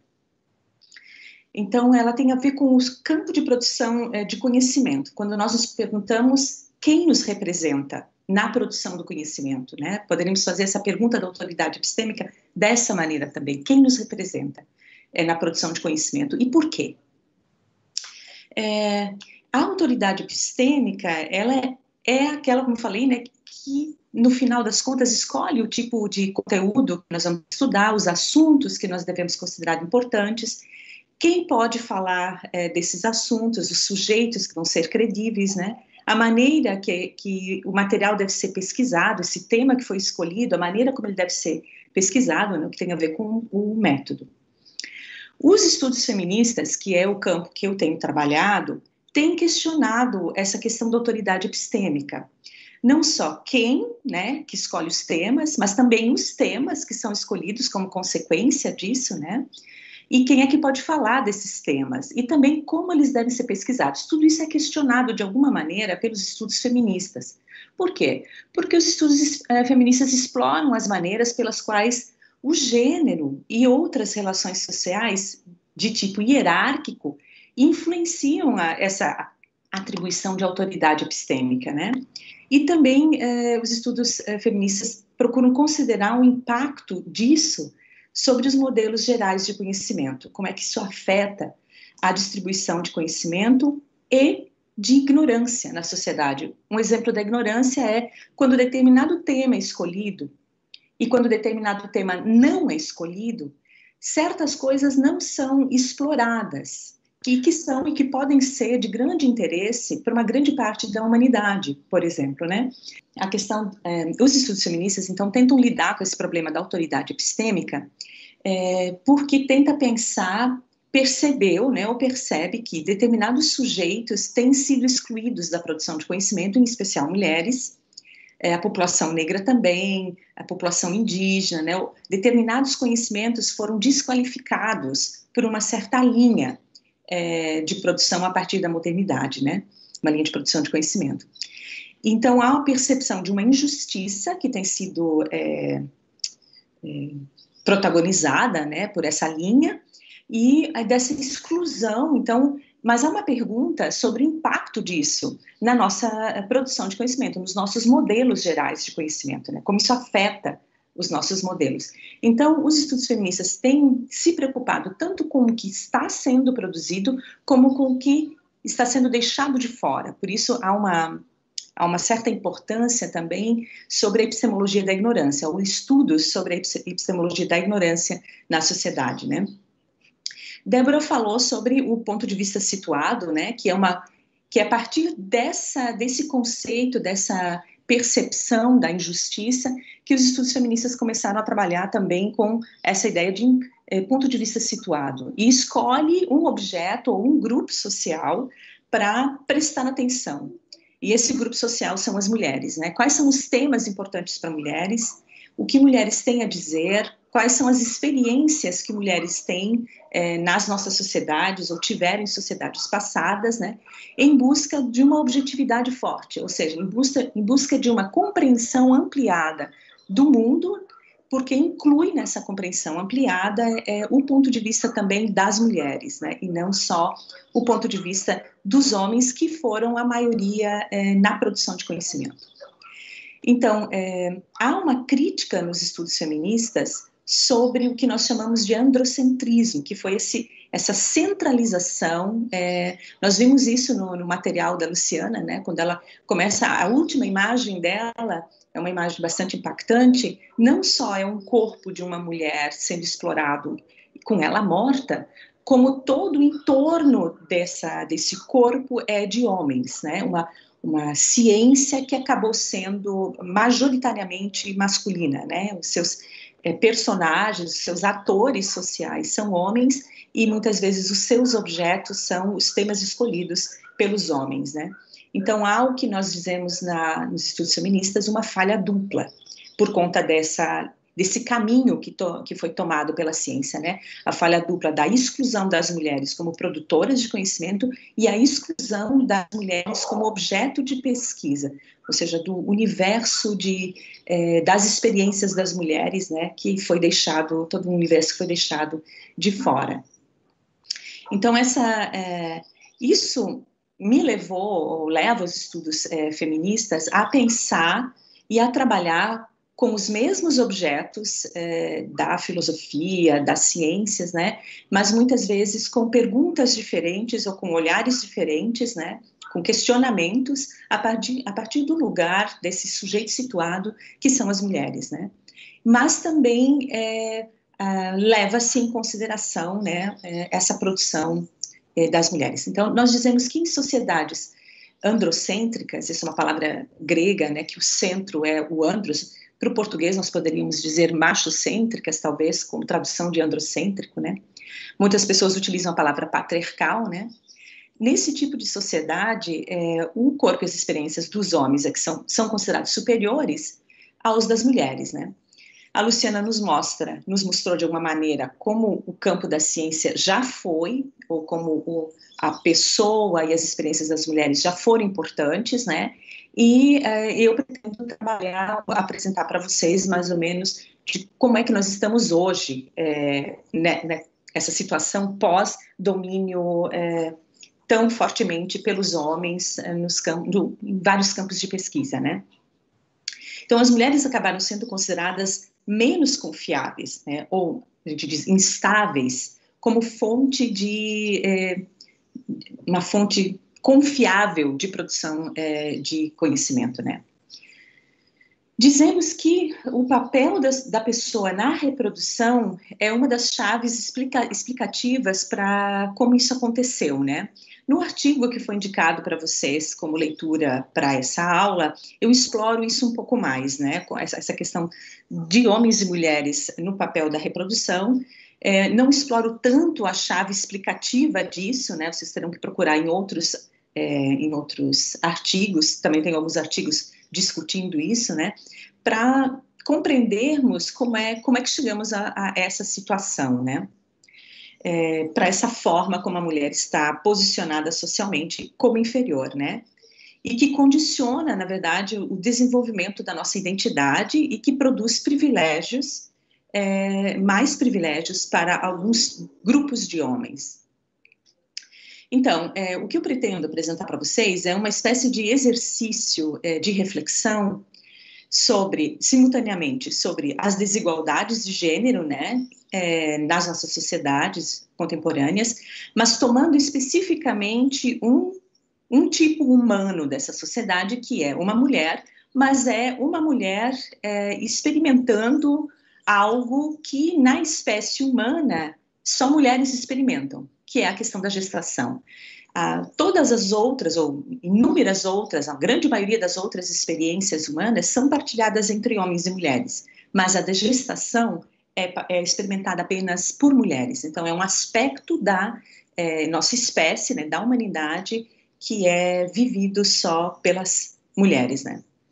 Então, é um exercício também de identificar essa experiência da gestação como um campo inexplorado da produção de conhecimento. A Luciana apresentou todo um imaginário é, que trabalhava com a ideia da produtividade ou da, da produção da vida, né, da germinação, etc., pautada no, no, no olhar sobre o corpo das fêmeas das variadas espécies e não só da espécie humana, né, que é o processo de gestação e também de parir. Mas nesse momento uh, seria como pensar essa experiência da gestação a partir eh, já dos conhecimentos que nós produzimos, por exemplo, na filosofia, né? Então, temos um, um campo inexplorado de conhecimento sobre a condição humana. Por outro lado, nós também podemos pensar eh, a sociedade, eh, né, as nossas questões políticas e sociais, se o nosso sujeito para essas teorias não fosse o sujeito que a modernidade nos apresentou, que é um sujeito abstrato, que é um sujeito é, racionalmente voltado para si mesmo, que coloca os próprios interesses, ele é autocentrado, né? os próprios interesses estão no centro. Todas as teorias contratualistas pensam isso, né? são, em geral, parecem ser sujeitos masculinos, com toda a autonomia, que ninguém basicamente depende dele, ele é autossuficiente e é autônomo, né? E ele faz esses contratos sociais e dirige a política, a religião, a ciência e a economia.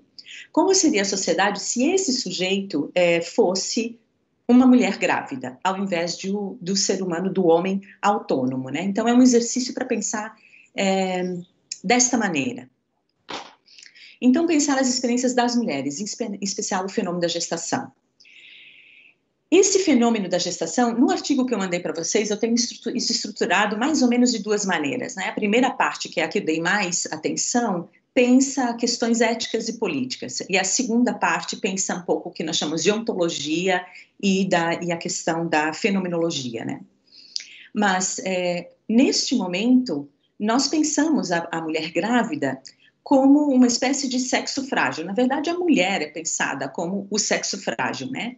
Ah, e quando ela está grávida, ela é pensada como ainda mais frágil, né? Então, como algo ou alguém a ser protegido. Essa, esse imaginário todo formado em torno da mulher, né, é parte da explicação para os privilégios que os homens têm, por exemplo, no campo das atividades de cuidado. Os homens cuidam muito menos, recebem muito mais cuidados de mulheres em especial, e as mulheres são as que arcam com a grande maioria dos cuidados de todo mundo, por exemplo, dentro, uma, dentro de uma família, né, e recebem uma parte menor desses cuidados. Bom, com certeza, se nós formos e fazer esse exercício imaginativo, nós temos, nós acabamos imaginando um mercado de trabalho ou uma estrutura econômica bastante diferente. Porque a gestação, ela é o início de um processo é, que tem a ver com a socialização dos novos seres humanos, né? Ou seja, algo que não é na, simplesmente atrelado à gestação. A gestação é o início desse processo. Então, quanto tempo leva essa socialização de novos seres humanos? Quantas pessoas estão envolvidas é, nesse processo? Quais são os recursos envolvidos, né? E quais são as prioridades? Se nós pensarmos em torno disso, nós já temos como imaginar que o mercado de trabalho acabaria sendo estruturado de uma outra maneira se ele pensasse na situação específica de quem gera e cuida e socializa os novos seres humanos. Se essa fosse a prioridade das sociedades, né? E se nós ouvirmos as narrativas das mulheres, que são as nossas especialistas nesse momento, por causa da atribuição que nós damos às mulheres do cuidado, né? Então, são as mulheres em geral que têm experiência de socializar tanto no campo educativo, tanto no campo é, da saúde, a, em geral, são as mulheres que cuidam do ambiente doméstico das pessoas. Claro que em casos graves elas são encaminhadas aos hospitais e ainda assim, em geral, são times e times de mulheres que atuam como enfermeiras, né? Se nós formos ouvir as narrativas das mulheres que cuidam e perguntássemos o que é realmente importante, é todo um campo de trabalho sendo desenvolvido, que é o campo da segurança do cuidado, né? Esse campo nos diz que faz parte do raciocínio é, por trás é, desse, dessas atividades, né? Manter a vida, manter a vida da pessoa que foi gestada e que está sendo é, socializada, né? Desenvolver as capacidades dessa, dessa pessoa nesse durante esse processo, né? E de socializá-la seriam coisas que nós ouviríamos é, se nós fôssemos prestar atenção nas narrativas e nas experiências das mulheres, né? Se nós agora olhamos para um outro ponto, que não é o ponto do mercado, da política, da socialização de seres humanos, né? Um outro campo que a filosofia também presta atenção, que é o campo da produção da subjetividade ou da ontologia, né? Nós poderíamos dizer que há uma subjetividade desafiadora no processo de gestação. Né? Nós perguntaríamos também, por exemplo, o meu slide está bagunçado, ele ele né, está vindo inteiro e eu tinha projetado para ele chegar em parte. Então, eu comecei com o título que está no alto, mas na verdade eu queria, antes disso, é, me perguntar e nos perguntar de como seria a ciência, né? Quais seriam os valores que nós ah, escolheríamos como centrais é, se o centro do nosso pensamento, no centro do nosso pensamento estivessem as mulheres, em especial uma mulher grávida. O que é central para a humanidade a partir desse lugar, desse, desse é, sujeito social, né? E quais seriam as ferramentas, os instrumentos tecnológicos ou técnicos considerados importantes? A eficiência seria o mais importante ou a manutenção da vida seria o mais importante, por exemplo, né? É, é, então, quais seriam as, os instrumentos que nós escolheríamos se o, os objetos, ou se a maioria da sociedade, a maioria dos cientistas, por exemplo, fossem mulheres? Agora sim, entrando no campo da subjetividade, né?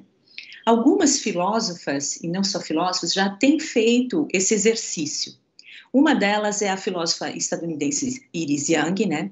Que diz o seguinte, que o corpo grávido, ele sugere a possibilidade de uma experiência muito diferente daquela que Descartes pensou. da relação entre mente e corpo. Também sugere uma experiência muito diferente da que muitos psicólogos, como Freud, também têm pensado entre a relação do self e o outro, ou da relação do self com o mundo.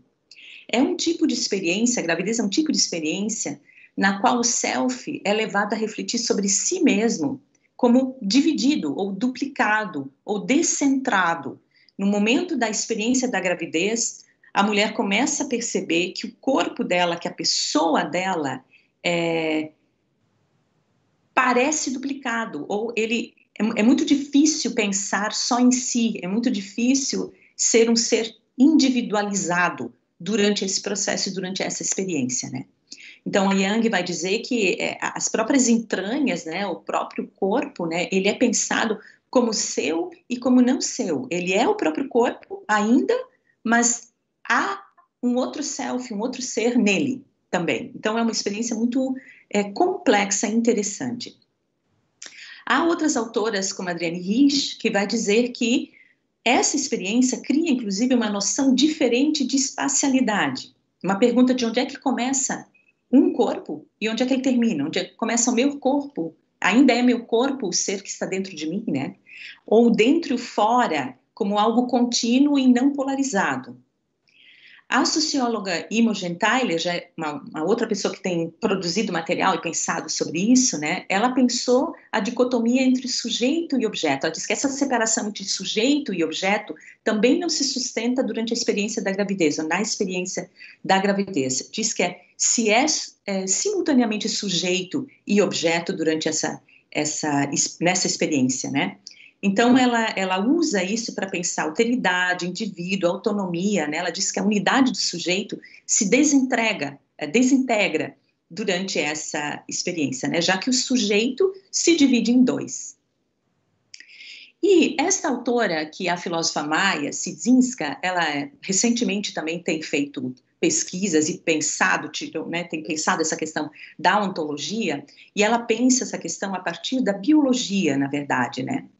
E ela diz o seguinte, né? Se conseguirmos organismos sujeitos como independentes, como é que pode haver o fenômeno da gravidez? Se nós concebermos os organismos como estritamente singulares ou estritamente duais, ela acha que também não pode haver o fenômeno da gravidez. Ou se nós concebermos os organismos como sempre existentes, né? Então, a partir da biologia, ela vai pensar justamente o corpo grávido como um organismo e não como um indivíduo, ou não como dois indivíduos, ela pensa ele como um organismo, um organismo que acomoda tanto seres autoconscientes como não conscientes, dá para ver a, a, imagem da biologia né, na reflexão dela. Ou uma subjetividade e dois corpos, já que nós temos um ser não autoconsciente, é não, com, que ainda não tem subjetividade até um determinado ponto, ou duas entidades orgânicas independentes, também uma maneira de pensar, né? Então, por isso que ela pega o modelo da ontologia, né? Porque ela, da biologia, porque ela vê nesse modelo um potencial teórico para um objeto que se divide em dois e, ao mesmo tempo, permanece coerente com ele mesmo. Então, ela tem pistas da, da biologia. E nós podemos nos perguntar, né, como o mecanismo pelo qual a sociedade se reproduz, a gravidez não é de modo alguma questão privada, mas é peculiarmente suscetível à intervenção e ao controle social. A pergunta que eu fiz é, é, no começo, né, o que eu coloquei no começo sobre é, ou talvez eu não fiz, estava pensando ela durante a apresentação da Luciana, né? Como nós chegamos nessa situação é, em que mulheres estão, são profundamente controladas, né? É, foram colocadas, deslocadas para o âmbito do privado. Né? No início das universidades, as mulheres não podiam frequentar a universidade. Então, nós saímos de um ponto em que havia um status e uma relação muito forte entre as mulheres e a criação do mundo, ou a criação das coisas, até a exclusão total. É, e isso tudo é uma questão de controle é, social e, é, e, que a chave que eu tenho para pensar isso tudo tem a ver justamente com esse aspecto procriativo das mulheres, né? E, essa, e esse controle, essa tentativa de controle dessa capacidade é, produtiva e, e, e, criativa e procriativa das mulheres, explica, por exemplo, né, é, por que fetos têm tido muitas vezes mais direitos do que a própria mulher em alguns casos, né, algumas discussões, né, ou é, sobre os discursos sobre o corpo e a mulher, né, é, que tipo de pessoa é a mãe, é, é, que muitas vezes tem a própria subjetividade suprimida, os, os, os, desejos sexuais de uma mãe, por exemplo, não são tematizados, nós não vemos a mãe como uma mulher adulta, que tem agência, né? nós vemos ela de uma determinada maneira. Podemos pensar as expectativas sobre esse corpo grávido, né? essa imagem aí da Pampers, é, tem essa, é, é uma imagem que eu coloquei, escolhi por conta dessa questão, né, de qual é a expectativa que nós temos sobre uma mulher grávida, na verdade, a expectativa é sobre a criança já, né? Sobre como ela vai atuar a partir do momento que a criança nasce. É, temos questões sobre o corpo da mulher ter, grávida ter sido entregue à medicina, né? Tudo que a medicina tem feito e explorado, ou a classe médica tem feito ou explorado. Essa imagem de baixo é sobre a quantidade de agulhas ou de injeções que uma mulher que não pode conceber se submete, né, ela é submetida a essas, essas, essas tantas injeções para produzir, para poder chegar a engravidar, né, ao invés de nós, si não é a maternidade que está em, em, em cena apenas, porque ela poderia adotar também, né, mas todo um, o que virou a gestação, né, o, o foco parece estar no bebê muito mais do que na mulher, a questão da invasão corporal que as mulheres vivenciam, né? A Iris Yang diz uma frase muito interessante, né? Se é aceitável, por exemplo, que as mulheres sejam tocadas das maneiras que são tocadas, nas circunstâncias que são tocadas, é, que por homens, por exemplo, que elas não escolheriam para que as tocassem, né? homens desconhecidos, é, dessa maneira é, foi o que de, é como a, matéria, a ciência foi transformada, a medicina foi transformada dessa maneira, né? Então, nós perguntamos se isso é aceitável. Nós já não nos questionamos mais é, sobre isso. Então, como meu slide se bagunçou, eu fiquei um pouco nervosa na apresentação, eu vou recapitular ela antes de terminar. Né? A minha ideia central é nós, nós, estamos, nós somos dominados por um tipo de sujeito é, na nossa produção teórica, né? Esse sujeito foi produzido por um grupo de homens, em especial por uma, um tipo de ciência que foi, ao longo do tempo, se tornando muito masculina, que ao longo do tempo foi excluindo as mulheres. Então, hoje há uma tentativa de nós trazermos isso de volta com questionamentos, com novos temas, e esse é um exercício de imaginar se o caminho tivesse sido outro, ou um exercício que nós ainda podemos fazer pensando se nós escolhermos um outro tipo de modelo, que modelo seria? Poderia ser uma mulher grávida. Por que uma mulher grávida? Porque é algo ainda não explorado, porque essa é uma experiência da humanidade ou da nossa espécie que é que pode nos trazer é, surpresas ou nos fazer conhecer o nosso mundo de uma maneira que nós ainda não o exploramos, né? E porque pode inclusive trazer é, né, consequências para o nosso âmbito político e social, é, né, por uma série de é, questões nós poderíamos é, considerar esse exercício válido. E, em especial, é, por conta dessa questão também apontada pela Euselin Kingman, que diz o seguinte, né, as, as perguntas referentes ao processo de gestação são, de certa forma, perguntas sobre a estrutura da nossa realidade, então, a Elzelin diz o seguinte: todos nós somos o resultado de uma gravidez. E pensar cuidadosamente sobre a gravidez está no centro também da compreensão do que nós somos. Então, justamente porque não é uma área muito explorada, eu, eu julgo que isso seria fascinante de ser mais é, explorado por nós, né? Então é isso. Obrigada e peço desculpas pelo atropelo. E acho que consegui ficar no tempo. É, maravilha, perfeito, professora Ilse. É, muitíssimo obrigado por essa reflexão de uma pertinência maior, que me permita dizer isso, mas eu acho que a sua pergunta ela é realmente fundamental e as autoras que, que você traz são, são extremamente pertinentes para pensar isso. Né? E é fascinante, né? Fascinante. É fascinante, fascinante porque é realmente um, algo assim que a gente não, não levou em consideração ainda e Isso. pode ser um campo muito interessante de descobertas. Né? Isso. Como você bem colocou, Neus, é, é, é um, algo humano, né, que pertence à humanidade e muito pouco explorado nesse aspecto que você destacou, né, que tem todo um campo, portanto, tanto de ações práticas quanto de ações reflexivas que está, que está em aberto, teóricas, genial. Então, nós tivemos três reflexões extraordinárias, é, per, de certa maneira permeando um longo período histórico, né? Então, eu acho que tivemos aqui, e voltamos daqui a 20 minutos, para conversar com, com, com, os nossos estudantes, para questões, e também para conversar aqui entre as professoras, e que eu acho que tem um diálogo muito interessante também que pode ser estabelecido. Então, Ilse, mais uma vez eu agradeço, eu agradeço a professora Luciana e eu agradeço enormemente a professora Débora. Então, em 20 minutos nós retornamos, agora são 10 horas e 40 minutos, portanto, 11 horas nós estamos de volta, tá bom? Então, é, até, até, até daqui a pouco. Tá? Bom, retornamos para a nossa aula. Sejam novamente bem-vindos. E vamos agora, então, passar para o segundo momento, um momento é, extremamente interessante, que é momento das questões, que é o momento do debate, e vocês ficam muito à vontade para elaborar suas questões às professoras, assim como as professoras também ficam muito à vontade para se questionar, para fazer reflexões. É o momento aqui realmente de aprofundarmos e esclarecermos pontos. Eu vou, então, começar a, a colocar as questões, e a primeira questão é da Carla Krupzak, perdoe, Carla, se eu não pronunciei adequadamente.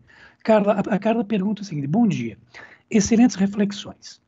Gostaria de perguntar para a professora Luciana como podemos tentar buscar retomar o paradigma feminino na ciência atual. Que atitudes podemos fomentar neste sentido?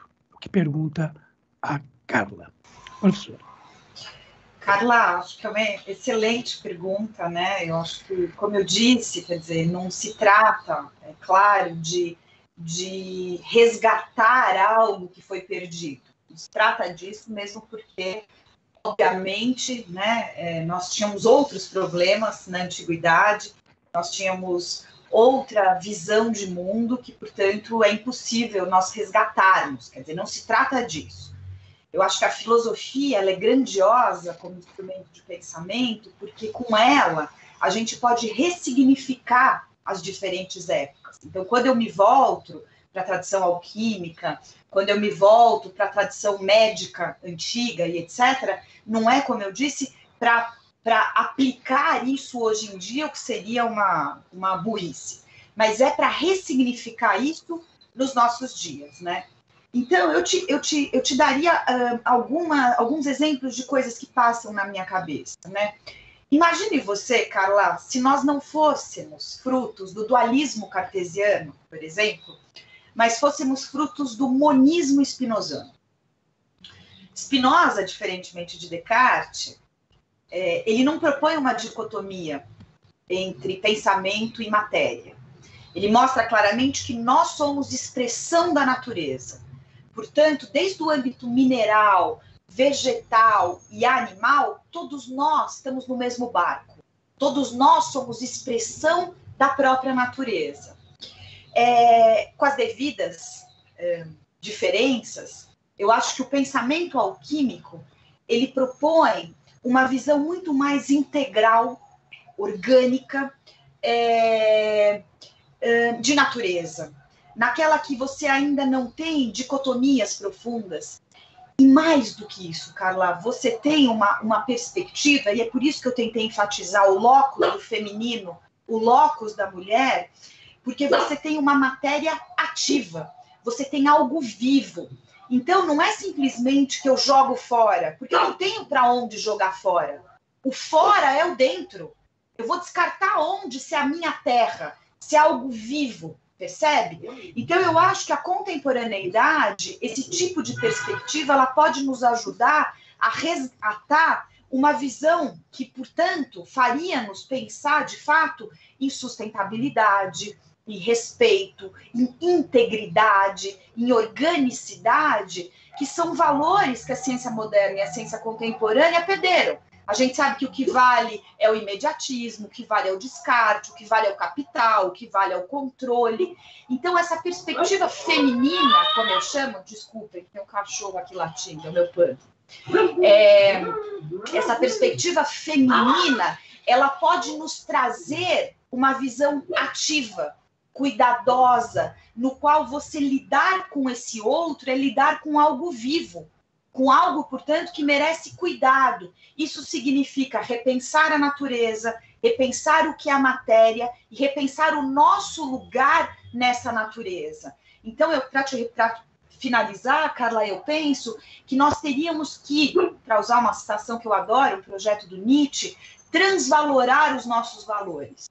Eu acho que o problema não é a ciência, tá certo? O problema é, é nós pensarmos nos valores que guiam essa ciência.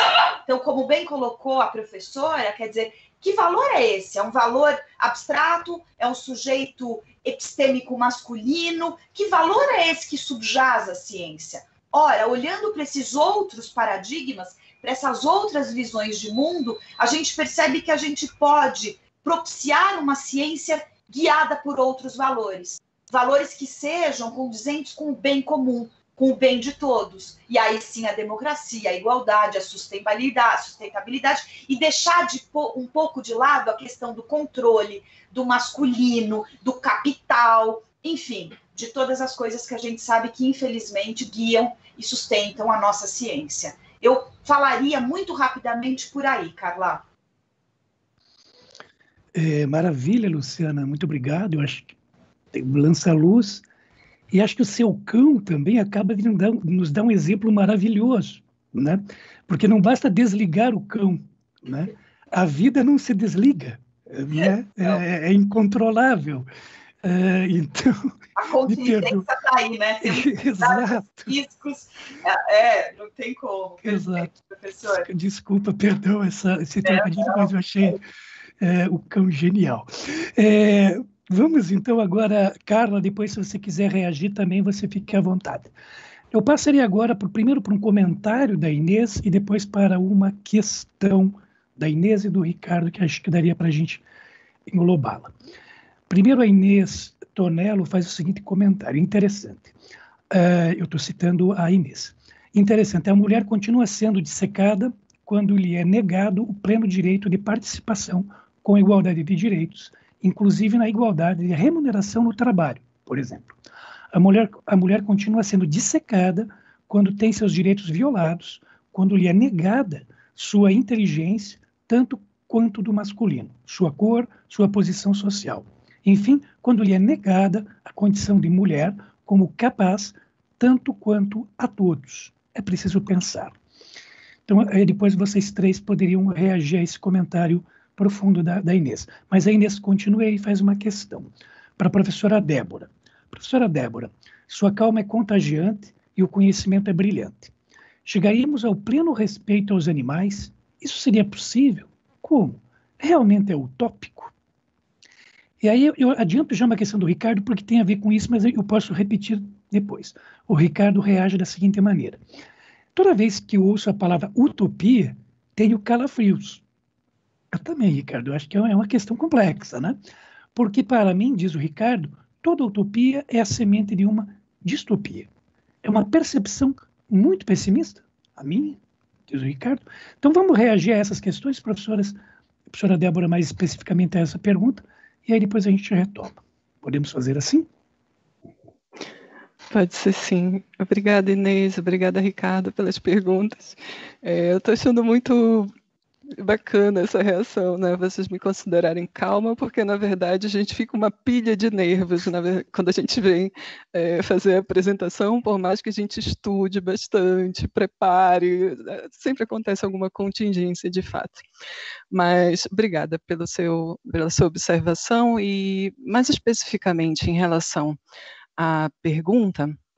Veja só, eu queria relembrar algo que a professora Yusa, na verdade, mencionou na apresentação dela, que, na verdade, vamos pensar assim, de um ponto de vista, então, de que a mulher ela teria sido historicamente colocada como primordialmente centrada né, no âmbito privado e, portanto, no cuidado, seja em relação aos filhos, seja em relação né, ao marido, seja em relação aos doentes, seja em relação às pessoas mais velhas da família. Isso tudo, na verdade, é, por um lado, um lugar né, que lhe foi estabelecido, mas que também vai gerar certas consequências do ponto de vista do seu lugar no âmbito, então, social, no âmbito político, no âmbito da fala, no âmbito da produção do conhecimento.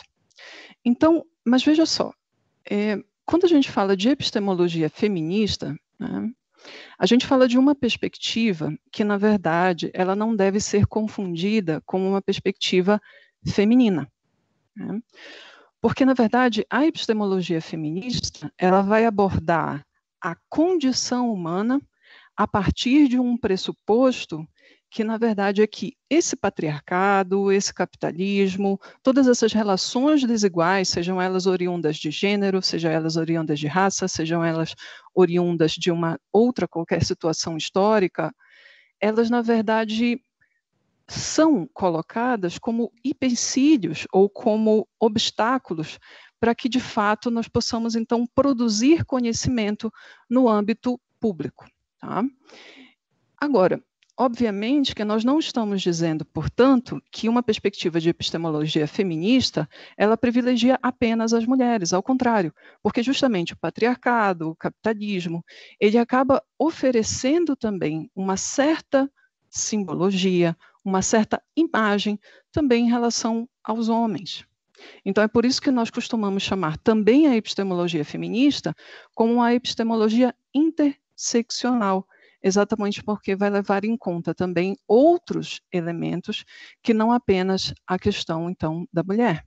Porque existem, de fato, entre as próprias relações de gênero, que eu acho que, como bem exemplificado no caso da apresentação da professora Ilse, nós temos então aí a questão de que as próprias relações entre os gêneros, elas são afetadas por uma relação, e agora vou tentar trazer isso novamente para o âmbito do conhecimento, que é compreendido então como uma relação de controle, que num primeiro momento, observe bem, se exerce justamente como um controle sobre a natureza, mas que vai desbordando justamente ao longo dos séculos, eu diria, para um controle sobre a sociedade. Se nós pensarmos, por exemplo, na ideia de biopoder em Foucault, nós temos exatamente essa passagem, então, de uma identificação, de um controle que se daria originalmente, então, a partir de um controle experimental sobre a natureza, mas que desborda também para uma tentativa ou uma produção efetiva de um controle em relação à sociedade. Então, assim, desculpa se eu não respondo exatamente a sua pergunta, mas é talvez para também interagir um pouco com a apresentação da professora Luciana e com a apresentação da professora Ilse, mas fico também à disposição para conversar mais um pouco posteriormente. É, professoras, vocês gostariam de reagir ao comentário, à questão da utopia? Ilse, por favor. Liberei, liberei. Eu estava pensando essa questão da utopia, né? É, é, muito interessante que, às vezes, no, no momento histórico que nós estamos, algo que. Essa questão dos animais nos parece algo, se não impossível, muito difícil. Mas em outros tempos históricos, haviam outras questões que foram consideradas muito difíceis ou quase impossíveis. Eu uso exemplo, às vezes, que para nós talvez não seja mais tão forte, que é o exemplo das mulheres poderem é, se separar seus, dos seus relacionamentos oficialmente, né? O, o, exemplo do divórcio. Há um momento histórico em que esse, isso não era imaginável é, em, em, determinado grupo. Também era um tipo de, uh, em determinados grupos, né? um tipo de utopia. Então, é, eu vejo nesse momento há muito, muita movimentação, ou tem crescido muito esse movimento de respeito à natureza como um todo, incluindo o respeito pelos animais. Né? Então, não só o vegetarianismo cresceu muito em várias sociedades, como o veganismo está crescendo, né? que é uma proposta ainda mais difícil é, de viver. Né? O vegetarianismo chega a ser muito mais fácil de viver do que o, o, o veganismo, mas tem crescido tem aumentado é, constantemente. as discussões começam a aparecer, as questões começam a aparecer, e, e a afirmação é, da, da, da, dos veganos é que nós temos condições, dada a tecnologia, dada tudo que, é, que nós é, já produzimos como sociedade, nós temos condições de viver sem ter que utilizar os animais, exemplo, sem ter que sacrificar os animais para se alimentar deles. É muito possível, de forma saudável, saborosa. Estou dizendo que sou vegetariana, né? ainda não consegui migrar para o veganismo, mas é, é, eu digo hoje que minha alimentação é mais saborosa hoje. Eu experimento muito mais, tenho prazeres em muitos variados condimentos depois que me tornei vegetariana. É, é antes a minha alimentação era mais a carne era sempre o prato central, então os sabores giravam em torno da carne em geral, né? Então, e, e para mim, que era uma, alguém extremamente carnívora, eu fui uma criança que não comia vegetais, que não comia legumes, é, não tinha prazer com os alimentos. E hoje eu tenho prazer com os alimentos e, e esse prazer veio junto com o vegetarianismo, né? Então, como esse grupo também tem aumentado, eu não sei mais se isso é tão utópico. É uma questão, talvez, de tempo histórico, né? Nosso tempo histórico é esse. Mas o fato de a gente conseguir imaginar é, um outro tipo de sociedade já significa que, no fundo, nós temos condições de implementá-la. Se nós conseguimos imaginá-la, nós já vemos elementos, podia ser mais ou menos assim. Isso que nós temos poucas ferramentas, talvez, para imaginar isso, já que é, né, vivemos um tipo de sociedade diferente, que é que sacrifica os animais para uma série de coisas, né? cada vez mais nós temos elementos sintéticos, materiais sintéticos para fazer várias coisas, né? Ou utilizamos outros elementos da natureza.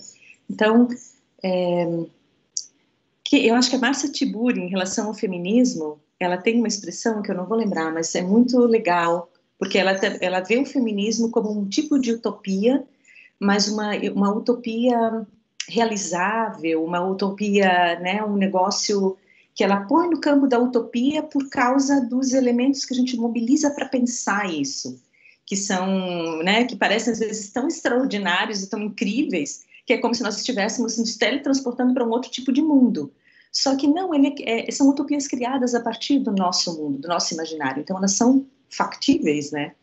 Então desconfio que, sei lá, eu sempre digo que tenho vontade, às vezes, de viver mais uns cento e poucos anos para ver no que, que vai dar é, isso tudo que a gente está pensando hoje, né? Como, será que daqui a 100 anos nós não estaremos mais sacrificando os animais, já estaremos nos alimentando de outras coisas com mais frequência, né? Ou os que se alimentam de animais vão ser vistos como bárbaros, como a gente agora pensa em pessoas de outros tempos históricos que tinham outras práticas culturais, né? E a gente os vê como bárbaros. É, mas aquilo era o mundo deles, né? O nosso é o de sacrifício de animais constante, né? Quando passa frente uma churrascaria, na área do açougue, que tem aqueles corpos dissecados ali, expostos e para gente comprar e consumir, eu penso, gente, isso é barbárie pura. então, é só para dizer que, né? É talvez uma questão de tempo histórico. Pode ser que no futuro nós sejamos bárbaros é, para uma sociedade que trata os animais de outra maneira e a natureza, né? A natureza está muito em pauta hoje em dia. Com ela vem a questão dos animais também. Maravilha. Professora Luciana, você quer reagir? Eu queria comentar, é, a, acho que é uma fala da Inês, que eu gostei muito, que ela faz um paralelo, digamos assim, com a dissecação, se eu não me engano, você leu uma citação, é, que ela fala, bom, parece que a mulher continua a ser dissecada, né? É, dissecada quando é, é legado, é, negado a participação, a sua condição, e de alguma certa. Esse comentário dela linkou de uma, de uma maneira bastante interessante a minha proposta hoje com a da professora Ilse. E eu queria só enfatizar que eu acho que é isso mesmo, Inês. Eu acho que com essa gravura que eu trouxe bastante forte do Besários, você tem uma virada epistemológica fortíssima. Aí você tem uma virada epistemológica é, com essa coisa da, da dissecação, e como eu bem mostrei, quer dizer, não é uma dissecação qualquer, é de um corpo de uma mulher e é de um útero de uma mulher. Quer dizer, isso, isso tem uma razão de ser.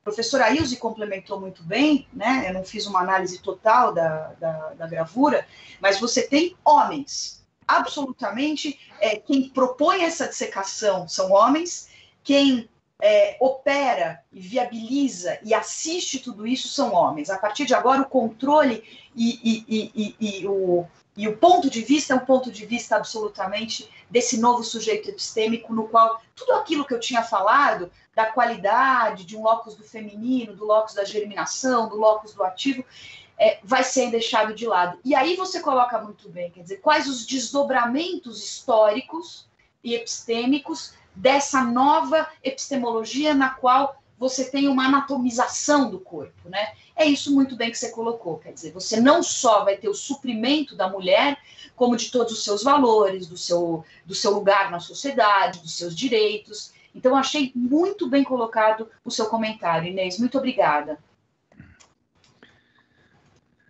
E é chocante, é uma mulher morta, né? Isso é bastante chocante. Exatamente. Por isso que eu achei que, que, que, fez uma ponte, de uma certa maneira. Claro que a gente precisaria, professora, fazer algumas mediações, mas eu acho que, da mesma maneira que eu falo de toda aquela germinação, o útero, os fornos antropomórficos, quer dizer, todo um lugar bastante interessante.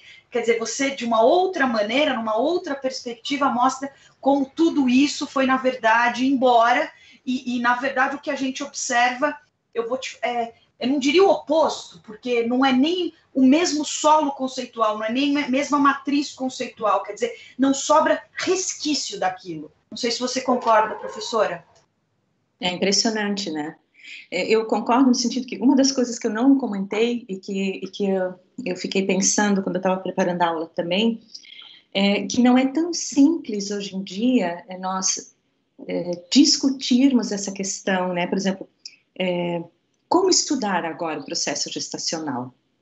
A partir da, é, ou como estudar ou pensar a subjetividade das mulheres grávidas, porque a própria, a nossa subjetividade está colonizada, né? O, o, o, tipo de sociedade que a gente vive, nós aprendemos, inclusive, a nos ver de uma determinada maneira que nos impede de perceber outras coisas, né? Ou de perceber que, né, essas perguntas que essas é, filósofas fizeram são muito interessantes, né? Porque assim, né? É, é possível que na, na hora de nós expressarmos a nossa experiência gestacional, nós vamos, na verdade, expressar isso fazendo uso dos elementos que a nossa cultura diz que nós devemos fazer. Porque a imagem da maternidade, ela tem um quê de sagrado também, da gestação, né? Eu me lembro da minha primeira gestação, que foi assim, eu escrevi um poema que eu não posso mostrar para as pessoas, porque ele é chocante demais. Eu me sentia invadida. Eu sentia alguma coisa dentro de mim que não era eu. E eu sentia aquele espaço ocupado e aquilo me perturbava de tal maneira, mas a, a forma que eu tinha para expressar aquilo não era autorizada. Porque se eu expressasse isso dessa maneira, eu ia ser descrita como uma mãe desnaturada, como uma pessoa revoltada, alguém que está com problemas. É, então eu tinha noção disso, de que a minha, a minha cultura não permite que eu expresse aquela, né, essa experiência da maneira que eu estou sentindo ela, vivendo ela, e aí com, isso que é, é, eu já né, já era feminista, já, né, já faço reflexões, então acho que por conta disso é que eu podia ser honesta comigo e me dizer assim, né, coisa não é tão bonitinha quanto querem, né? Ou, ou eu... então é isso que eu queria dizer. É muito complexo pensar isso porque nós estamos dentro dessa realidade, né? E essa realidade coloniza a nossa maneira de ler a realidade, ler a nós mesmas, né, a triar as nossas experiências, a interditar os nossos pensamentos e, sen e, sentimentos de uma certa maneira e a organizar as nossas ideias, muitas vezes, também de uma certa maneira, que é a maneira aceitável. Então, como é, nos livrar disso, não só na experiência do corpo que gesta, né, mas esse é um exemplo porque né, para outros, né, nós, é, nós temos interdições já impostas e às vezes isso nos impede é, de ir adiante no pensamento, né? Acho que a própria questão do exemplo da, de hoje, quando eu fui pela primeira vez a um supermercado é, e comecei a olhar para os corpos dos animais expostos daquela maneira e me dei conta que aquilo era um tipo de barbárie, eu pensei, mas até aqui era tranquilo para mim fazer isso. Eu circulava, né? Eu circulava nesses espaços como fruto da minha cultura.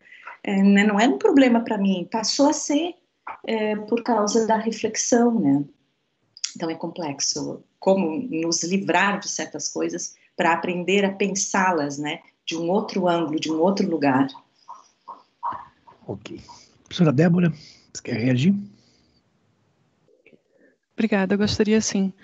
É, na verdade, era para colocar então a questão de que quando eu busquei um pouco essa informação sobre diferentes formas de utopia, era um pouco justamente no sentido de mostrar essas novas sensibilidades que emergem. Né? Então, me parece, e aí é uma questão que a gente pode aprofundar a partir de outros autores, mas que, por exemplo, essa utopia animalista procuraria resgatar dentro daquilo que foi o objetivo da minha apresentação, uma divisão clara, né, uma divisão prévia, justamente a situação, então, de uma ênfase na tecnociência contemporânea, uma divisão clara entre o natural e o artificial. Mas vejam que quando nós falamos a partir do Manifesto Cyborg, a Haraway, como uma feminista, como uma epistemóloga também, que pensa a produção do conhecimento a partir, então, desse ponto de vista que, segundo ela, também seria desprivilegiado, que é o ponto de vista das mulheres, ela, no Manifesto Cyborg, ela se coloca, então, como diante de uma imagem cultural, que é a imagem do ciborgue, tentando, talvez a partir disso, criar certas coalizões.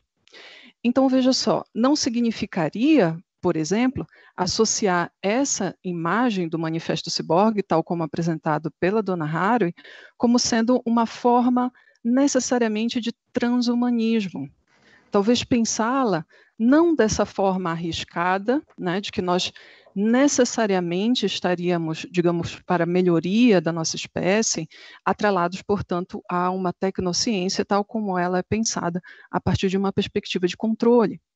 Mas, ao contrário, de identificar, então, onde estamos, né? então, identificar, portanto, a influência da tecnociência, da tecnologia de informação, das nanotecnologias, das biotecnologias, e, a partir disso, justamente pensar utopicamente, porque ainda não estariam realizadas essas situações ou de uma libertação animal ou de uma outra forma de libertação humana, mas agora levando em consideração a situação, portanto, de que nós estamos integrados a uma tecnociência.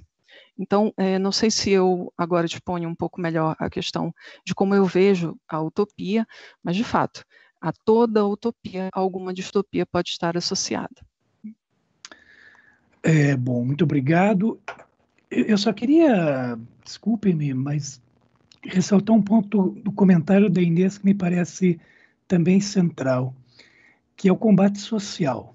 Né? A Inês toca exatamente questão de remuneração, de trabalho, de direitos sociais, quer dizer, que é uma luta política que é absolutamente contemporânea, atual e essencial. Né? É só para destacar também esse no comentário da Inês, que a gente agradece.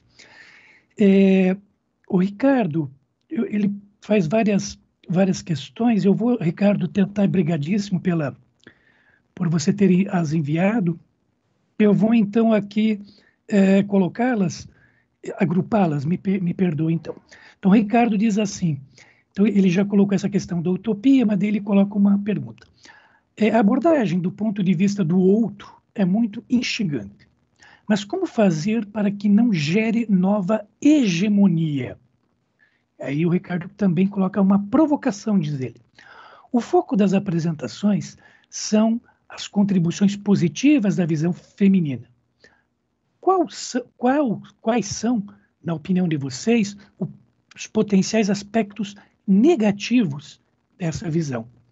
Lembrando que é uma provocação, como disse o Ricardo.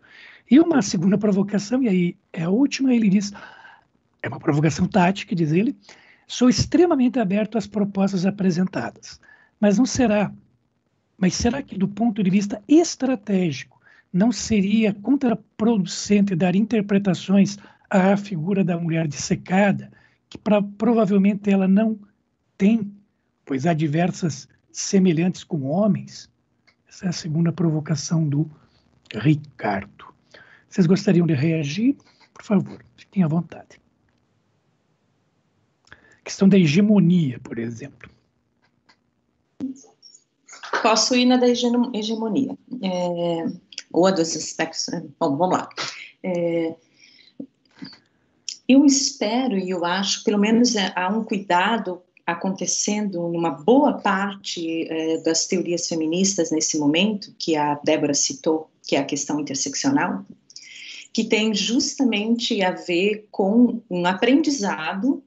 É, para quem conhece pouco o campo das teorias feministas, ou dos feminismos, ou do feminismo, é, eu vou dizer o seguinte: é um campo que internamente é muito forte de discussão. É muito forte, inclusive se diz que, né, se, às vezes se refere a esse campo como, como sendo né, de brigas internas. Mas as críticas internas que ocorrem dentro do, do campo dos estudos feministas desde sempre, desde o século XIX, o que acontece às vezes é comum que existe um tipo de feminismo apresentado para o público. Nós temos a impressão pela mídia de um certo tipo de feminismo, mas o fato é que internamente sempre houve muita tensão. Essa tensão é, fez com que houvesse um aprendizado muito interessante para quem está no meio desse campo. É, às vezes, quem está chegando de fora, se agregando, ainda defende alguma posição, é comum que, que defenda uma posição mais fortemente e ainda esteja numa disputa muito forte uma, com determinadas imagens que vê no campo. Mas um aspecto que eu julgo importantíssimo, tanto das teorias do cuidado como dos estudos feministas, é o que é um campo dialogal, é um campo dialógico é, um campo que escuta, ou é obrigado a escutar, por, ca por causa dessas discussões internas. Então, essa proposta não é uma proposta de ouvir apenas um outro, este outro é plural. É, tem sido cada vez mais plural e ele representa uma, uma, né, uma pluralidade, uma diversidade humana. Então, seriam os outros, talvez, que são propostos é, para entrar, para serem ouvidos pela teoria feminista. Então, estou citando a teoria feminista, né? Então, em geral, quando vem uma proposta, nós costumamos, na linguagem, dizer a mulher. Mas, é, já desde os anos 70, há uma discussão de que esta mulher não existe. Há as mulheres concretas, e são plurais. Então, atualmente, quando nós falamos é, em interseccionalidade, que é um dos termos importantes que vem sido agregado ao feminismo e que nasce com o feminismo negro, é uma tentativa de dizer que há muitos aspectos é, que têm a ver, eu acho que a, a Luciana, quando ela pontua a questão do controle, é uma chave importante para pensar, né? A questão dos valores. Se o controle é um valor, nós vamos ter geralmente um grupo nessa posição, ou um pequeno grupo, né, que a gente costuma dizer que é o homem branco de classe média alta, né, ocidental, que vai estar nesse lugar que quer o controle sobre os outros grupos. Mas quando a gente fala em, na teoria feminista, se colocar no lugar do outro, né, é, é muito difícil que haja uma hegemonia de um outro, de, de, né, porque nós não temos ele como um, uma pessoa específica, nós não temos a mulher para colocar nesse lugar do outro. Nós temos cada vez mais é, um, um, grupo muito grande de atores e agentes sociais, né? Por um lado isso, e por outro lado essa questão dialógica ou dialogal que é muito forte. E seria realmente um tiro no pé, né? Porque se a gente reclama de algo que a gente viu, né, que é a opressão sobre nós, e vamos lá e vamos fazer o mesmo, você tem que você está claro, certíssimo, né, de que isso aí não funciona e não serve para nada, né? Mas a gente acredita que há um aprendizado, é, que ocorre um aprendizado quando a gente percebe essas coisas em funcionamento e a gente as denuncia, as critica e propõe outra coisa. Nós estamos propondo outra coisa. Não é o reverso da moeda. O reverso da moeda não faz sentido. É, para as teorias feministas, pelo menos, e acredito que para outros grupos também que fazem críticas semelhantes, né? O grande esforço é justamente nós tentarmos o mais difícil, que é vamos nos ouvir e vamos tentar trabalhar em conjunto. Um modelo coletivo, um modelo que pelo menos seja mais plural e diverso. Isso é o mais difícil. Colocar um grupo no poder dizendo que é para a gente fazer é o mais simples, no fundo, né? Dá resultados, claro, às vezes a curto prazo, mas a quantidade de gente sacrificada no caminho e de resultados potencialmente negativos, a gente está cada vez mais denunciando que não é por aí, a gente quer outra coisa. Então, a teoria feminista também, os estudos feministas estão amadurecendo, tentando propor outra coisa, né, nesse conflito, nesse embate. Perfeito, Ilse, esclarecimento essencial. Professora Luciana. Queria só fazer um pequeno aparte eh, na fala da professora Ilse, eh, que eu concordo plenamente, tanto é assim que em um determinado momento eu usei o vocábulo transvaloração dos valores. Não se trata de você ir para o outro lado da moeda, porque senão, na verdade, seria, né, você teria essa questão que o que o aluno, eu me esqueci o nome, colocou. Trata-se, na verdade, de você partir, isso de maneiras diferentes, seja o Nietzsche, seja o Marcuse, eles colocam muito bem, é, trata-se, e são homens colocando muito bem, né? Mas enfim, deixamos isso, essa brincadeira de lado. Trata-se de transvalorar os valores, porque na verdade se trata de, de refletir, de pensar a partir de uma outra matriz conceitual. É por isso que a Ilse coloca que você não tem o outro, você tem outros. Você não tem. É, você tem uma concepção, eu diria, Ilse, se eu estiver errada, você me corrija, da vida como diferença. Quer dizer, há um respeito às diferenças e, portanto, é tudo no plural. Né? Você não trabalha mais com uma matriz é, da substância, do idêntico, do ser. Não, mas você está numa matriz conceitual onde você tem exatamente o plural, onde você tem a variedade. É por isso que eu acho que essa nova perspectiva transvalorativa não cairia nesse problema. Mas só uma pequena observação. Perfeito. Professora Débora.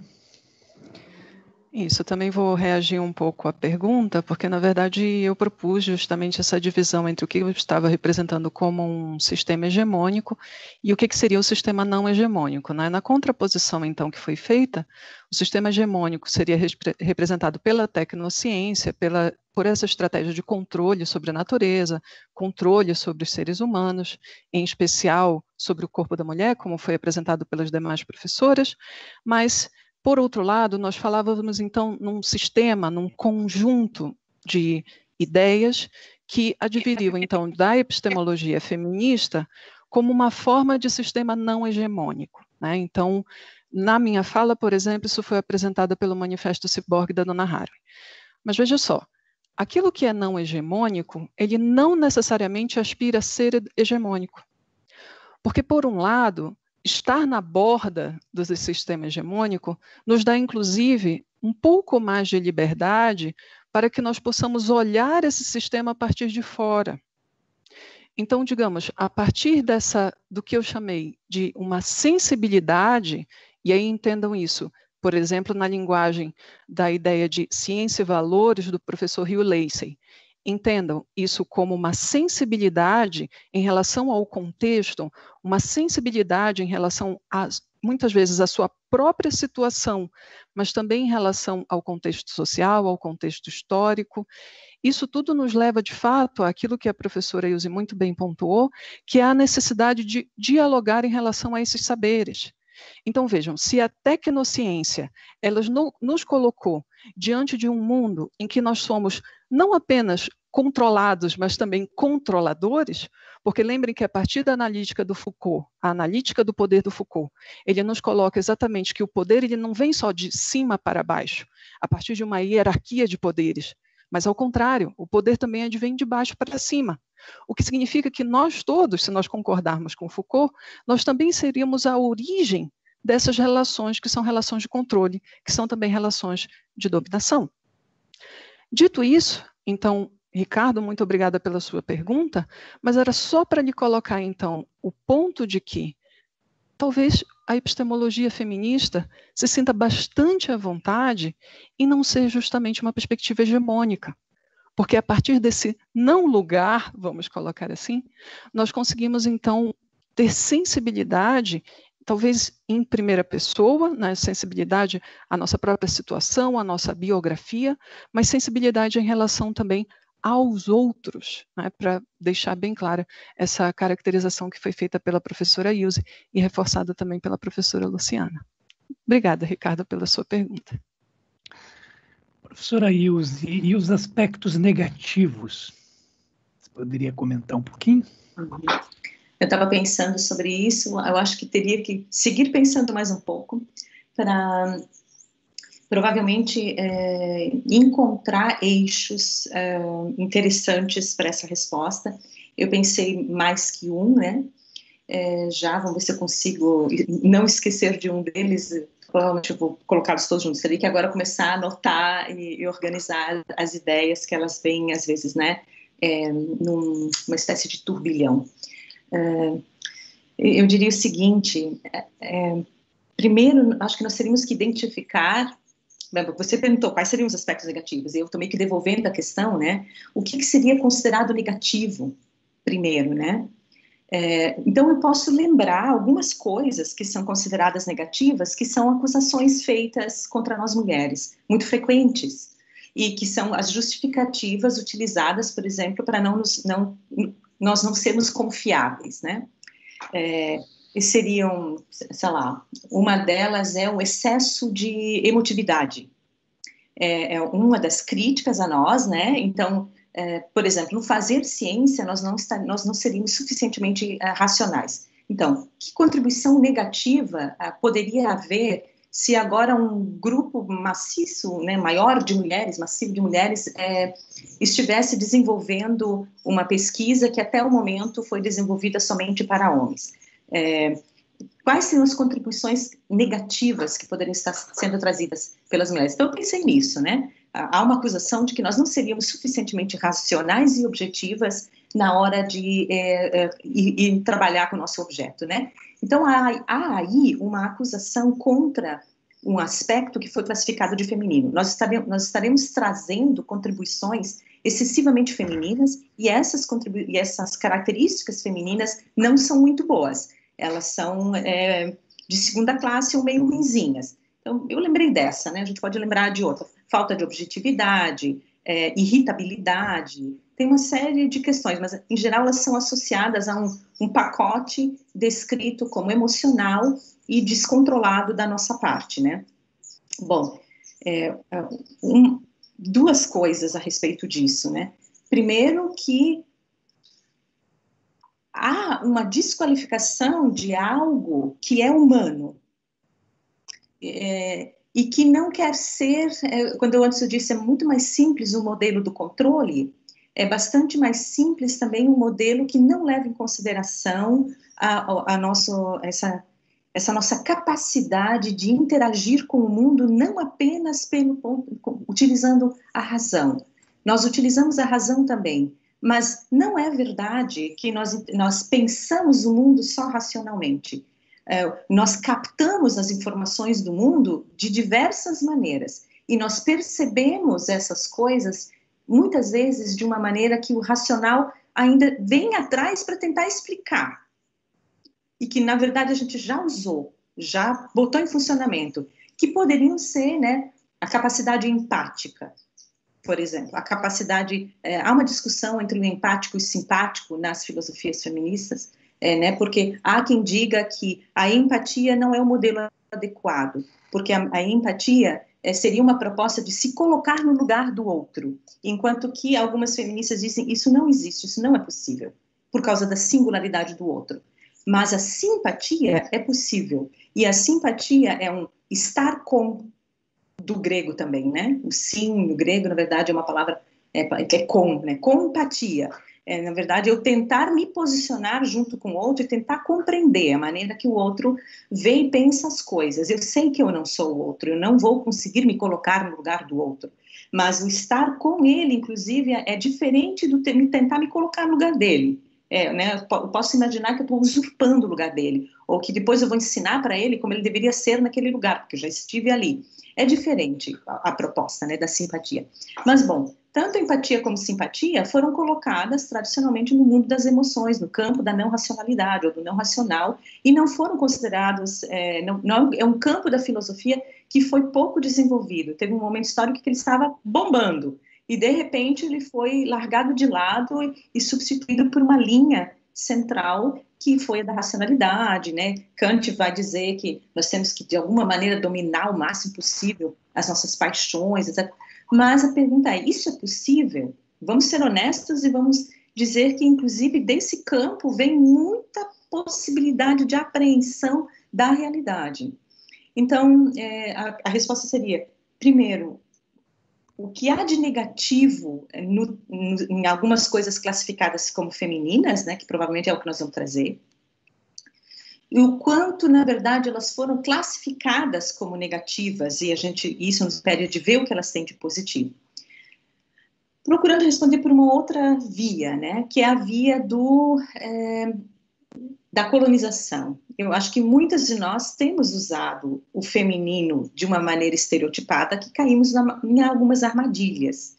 Deixamos de perceber, é, de explorar esses aspectos que foram classificados como femininos e que homens também têm, é, e, ca, e, caímos numa, numa estereotipação, transformamos às vezes essas características em um modelo caricato delas também.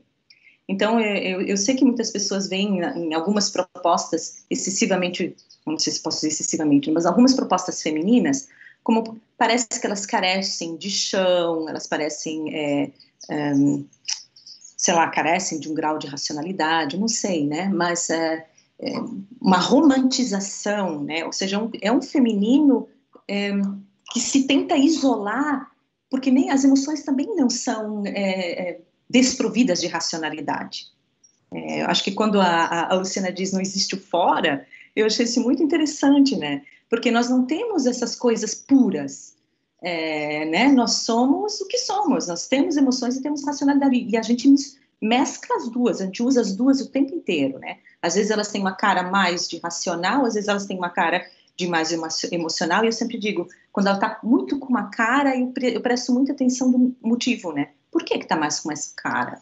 Às vezes está muito emocional, porque eu ainda não dialoguei com isso, não, não consegui perceber vários elementos atrelados a isso, para que isso me mostre a sua racionalidade também. E às vezes eu não vejo, eu não olho para o racional e não saco o que está escondido dentro dele, né, em torno dele, que tem de emocional. Mas é, né, eu acho que se dá muito pano pela manga essa conversa aí do quais são as contribuições negativas, é, seriam as contribuições negativas. Eu imagino, Ricardo, que você é, percebeu é, isso que, que eu diria que é a romantização de certos aspectos femininos, né? Que a gente, às vezes até, muitas de nós tentam, né, muito é, é, encarnar um modelo de feminino de acordo com o estereótipo, e que nos foi dito que é. E, e aí ele fica estranho mesmo, eu acho, e dá a impressão de que ele não vai ter chão, né, de que vai ser muito, muito chororô, muito mimimi, essas coisas que o pessoal é, identifica e denuncia de certos comportamentos, né, que podem até ter essa característica, né, mas eu arriscaria dizer que pode ser uma, uma forma de apresentar o produto que foi nos autorizado e nos dito que é assim e que pode ser que tenha muito mais ali escondido, né? Mas foi uma tentativa de resposta. Maravilha, Ilse. Obrigado. O Ricardo escreveu um comentário, e é só um comentário, eu leio e depois eu faço as duas últimas questões. É, disse o Ricardo, eu pensei nos aspectos negativos, mas do ponto de vista feminino, não essas acusações masculinas. Uhum. O teste da emocionalidade eu não passaria também. Enfim, aí ele faz uma, uma graça.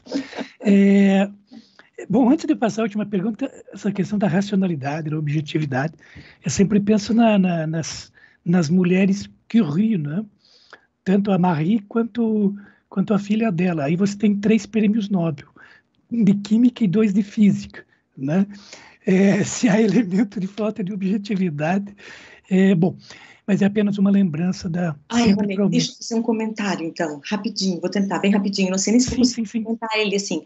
Mas tem um pequeno artigo de um filósofo de Oxford, uma, uma coluna. Ele escreveu dizendo o seguinte: que curioso que grandes filósofas em Oxford são de um determinado tempo histórico.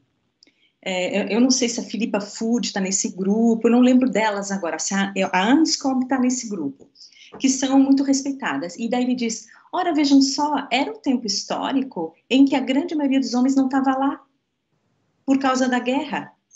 E aí ele diz o seguinte: é um momento em que elas, esses espaços foram, estavam meio que vazios ou, ou com menos homens, e elas entraram na filosofia, e o texto dele é no sentido de é, o quanto as mulheres são tolhidas é, nas suas reflexões, nos seus projetos, e né, o, em sala de aula é muito comum que quando é considerado, às vezes pelo jeito de falar, o tom de voz, a timidez, né, dá uma impressão, né, não, não é a postura empoderada. E aí é colocada de lado, e às vezes não é ouvir, e isso desencoraja as garotas. E daí nesse texto ele diz o seguinte: nossa, é um grupo de mulheres impressionante na filosofia. E depois começa de novo a não ter muitas. E a pergunta dele é: será que isso tem a ver, que é provocativa, né? Será que isso tem a ver com o fato de que tinha muitos homens lá e que existe uma maneira de lidar com as mulheres nesses ambientes carregados de homens? Então, o texto dele é muito interessante, né? Porque ele vai colocando a lista das mulheres, esta, aquela, aquela, aquela. Ora, o que elas têm em comum? Elas têm um tempo histórico X e um momento em que elas estão em Oxford e um momento em que tem menos homens em Oxford. Ele diz: não é interessante? É verdade. Muito bem lembrado. Eu vou, eu vou fazer as duas últimas questões, vou agrupá-las e aí vocês reagem a elas, por favor. A primeira é da Cláudia Zago, e ela diz: primeiramente, parabéns pelas abordagens é, de hoje, gostei muito. Em algumas situações, vemos que quando uma mulher faz parte de uma certa equipe ou grupo, é visto como valoroso e inclusivo. Mas às vezes me incomoda o fato de não colocar em primeiro lugar sua capacidade, resultados alcançados, valores e sim o gênero. Ela não está lá por ser competente, e sim por ser mulher. De qualquer forma, de, de que forma melhorar isso? O meu sentimento e minha visão é, estão erradas. E a Aline faz a seguinte questão. Bom dia, obrigada pelas, pelas aulas, professoras. Sou doutoranda do CRECA do programa eh, de pós-graduação em Ensino e Tecnologia, eu creio que é esse, PRGT, da UTFPR, e, e pesquiso sobre gestação e feminismos. Gostaria que comentasse como vocês veem o processo de construção de redes e apropriação de saberes por meio das tecnologias de comunicação, por grupos de mulheres que questionam o domínio do campo médico e buscam maior autonomia nos processos de concepção, gestação, parto, maternidade, etc. Essas duas questões para a gente concluir amanhã, amanhã de hoje. Eu agradeço a Cláudio, agradeço a Aline.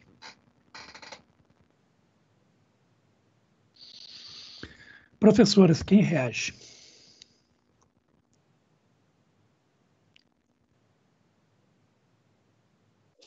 Posso começar a comentar, que eu acho que também dá um pouco de tempo né, para a Ilse e para a Luciana também pensarem se gostariam de reagir às perguntas. É, Cláudia, eu confesso que eu não entendi muito bem é, o que, que seria então essa diferença entre, ou semelhança, né, que estaria entre incluir uma mulher por seu gênero ou por sua capacidade. Eu não sei se você, quando formula a sua questão, pensa, por exemplo, em algum exemplo específico, ou se a sua questão nos leva a refletir, em geral, de que talvez mulheres ocupem determinados espaços não por sua capacidade, mas por simplesmente serem mulheres ou, quem sabe, por estarem acompanhando seus maridos, né, numa situação pública, numa situação né, de seja de produção de conhecimento, seja numa situação política, por exemplo.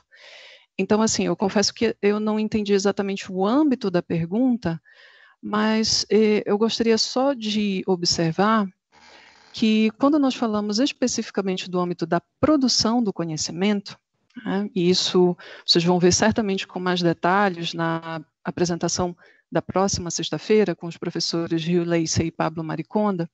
Nós estamos falando de uma ciência que se constitui a partir da ideia de que a ciência seria então livre em relação aos valores. Só que notem, no argumento que eles desenvolvem, especificamente eu estou aqui lembrando do argumento que é desenvolvido pelo professor Rio Leicey, nós estamos falando de uma ciência que é livre de valores, inclusive porque ela seria produzida tendo em vista uma, um produto, algo que vai ser posteriormente oferecido ao mercado, e aí, supostamente, portanto, essa tecnologia poderia ser aplicada a qualquer perspectiva de valor. E por que, que eu estou lembrando um pouquinho desse pano de fundo de ciência e valores para a gente começar a pensar a questão que você nos coloca? Veja só, nenhuma escolha, seja do ponto de vista de uma posição, por exemplo, que se ocupa no mercado de trabalho, seja em relação à posição que se ocupa numa instituição, seja em relação à posição que se ocupa na própria família, elas são poderiam, né, nós poderíamos elastecer esse argumento e dizer que elas não são destituídas de valores.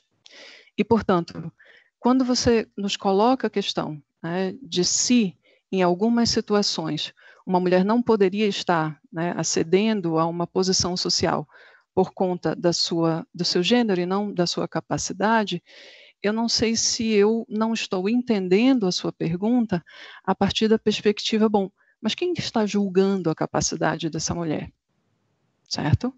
A partir de que princípios, a partir de que valores, o que está sendo valorizado, por exemplo, é a sua racionalidade, é a sua quantidade de artigos publicados, é, o que, que está sendo valorizado exatamente? É o lugar onde essa mulher fez, por exemplo, a sua formação acadêmica. Veja que nós entramos aí então num debate que seria mais ou menos o seguinte: quais são os valores que orientam, inclusive, as nossas escolhas em relação a quem deve ou não ocupar um certo lugar ou ocupar uma certa posição social, por exemplo, no âmbito da produção do conhecimento em instituições. Mas isso é, é só uma colocação porque realmente eu não, não sei se você se referia a um exemplo específico ou se falava em geral. Né? Eu acho que em relação à questão da, da gestação, talvez a Ilse gostasse de comentar um pouco mais. Obrigada. Ilse, por favor.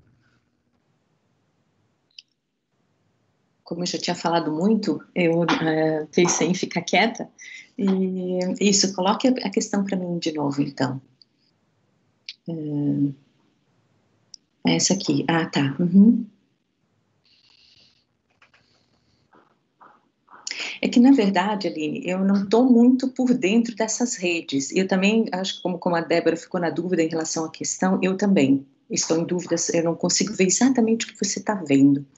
É, eu, eu, na minha mente aparece, então, esses movimentos de parto humanizado, por exemplo, né, mas não é ligado especificamente à gestação, mas é mais ligado ao parto, né, veio, me veio em mente todo o campo da, da, da da, dos estudos é, sobre procriação, né, ou, como isso foi apropriado, é, tem esse biopoder sobre, sobre o, o corpo da gente, essa, a questão da inseminação artificial, até acabei escrevendo um artigo que a Débora estava é, tocando também numa revista, né, sobre a questão é, justamente do controle do, do, do, corpo das mulheres por conta dessa classe médica.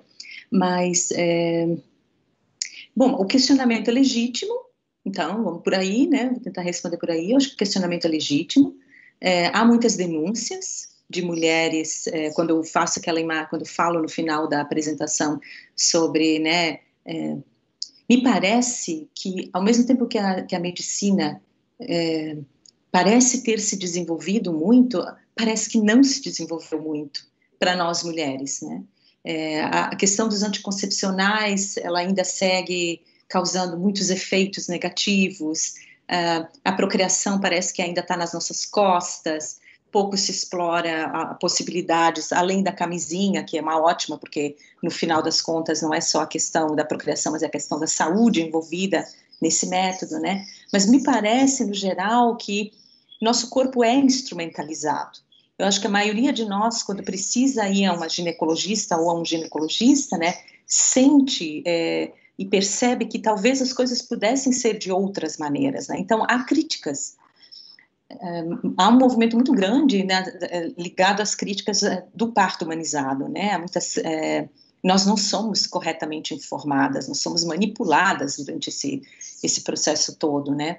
Eu, eu participei de uma banca recentemente de uma médica ginecologista é, que justamente ela, ela se pergunta sobre a autonomia das mulheres ligadas a esse processo de gestação e de parto, né? O, o foco dela mais era o parto, que apesar de a gente ter produzido um material é, como do parto humanizado, do projeto Cegonha, que é para o SUS aplicar, etc. Chega na hora, as equipes médicas de enfermagem também já tem uma imagem, a mulher parece que ela é um objeto, ao invés de ser uma agente, é, ao invés de estar sendo considerado todo o universo em torno dela. De novo, são os modelos simplificados, porque é, é, é muito. Né, existe o entorno da mulher em casa, existe o entorno da mulher na sociedade, e existe o entorno da mulher da classe médica.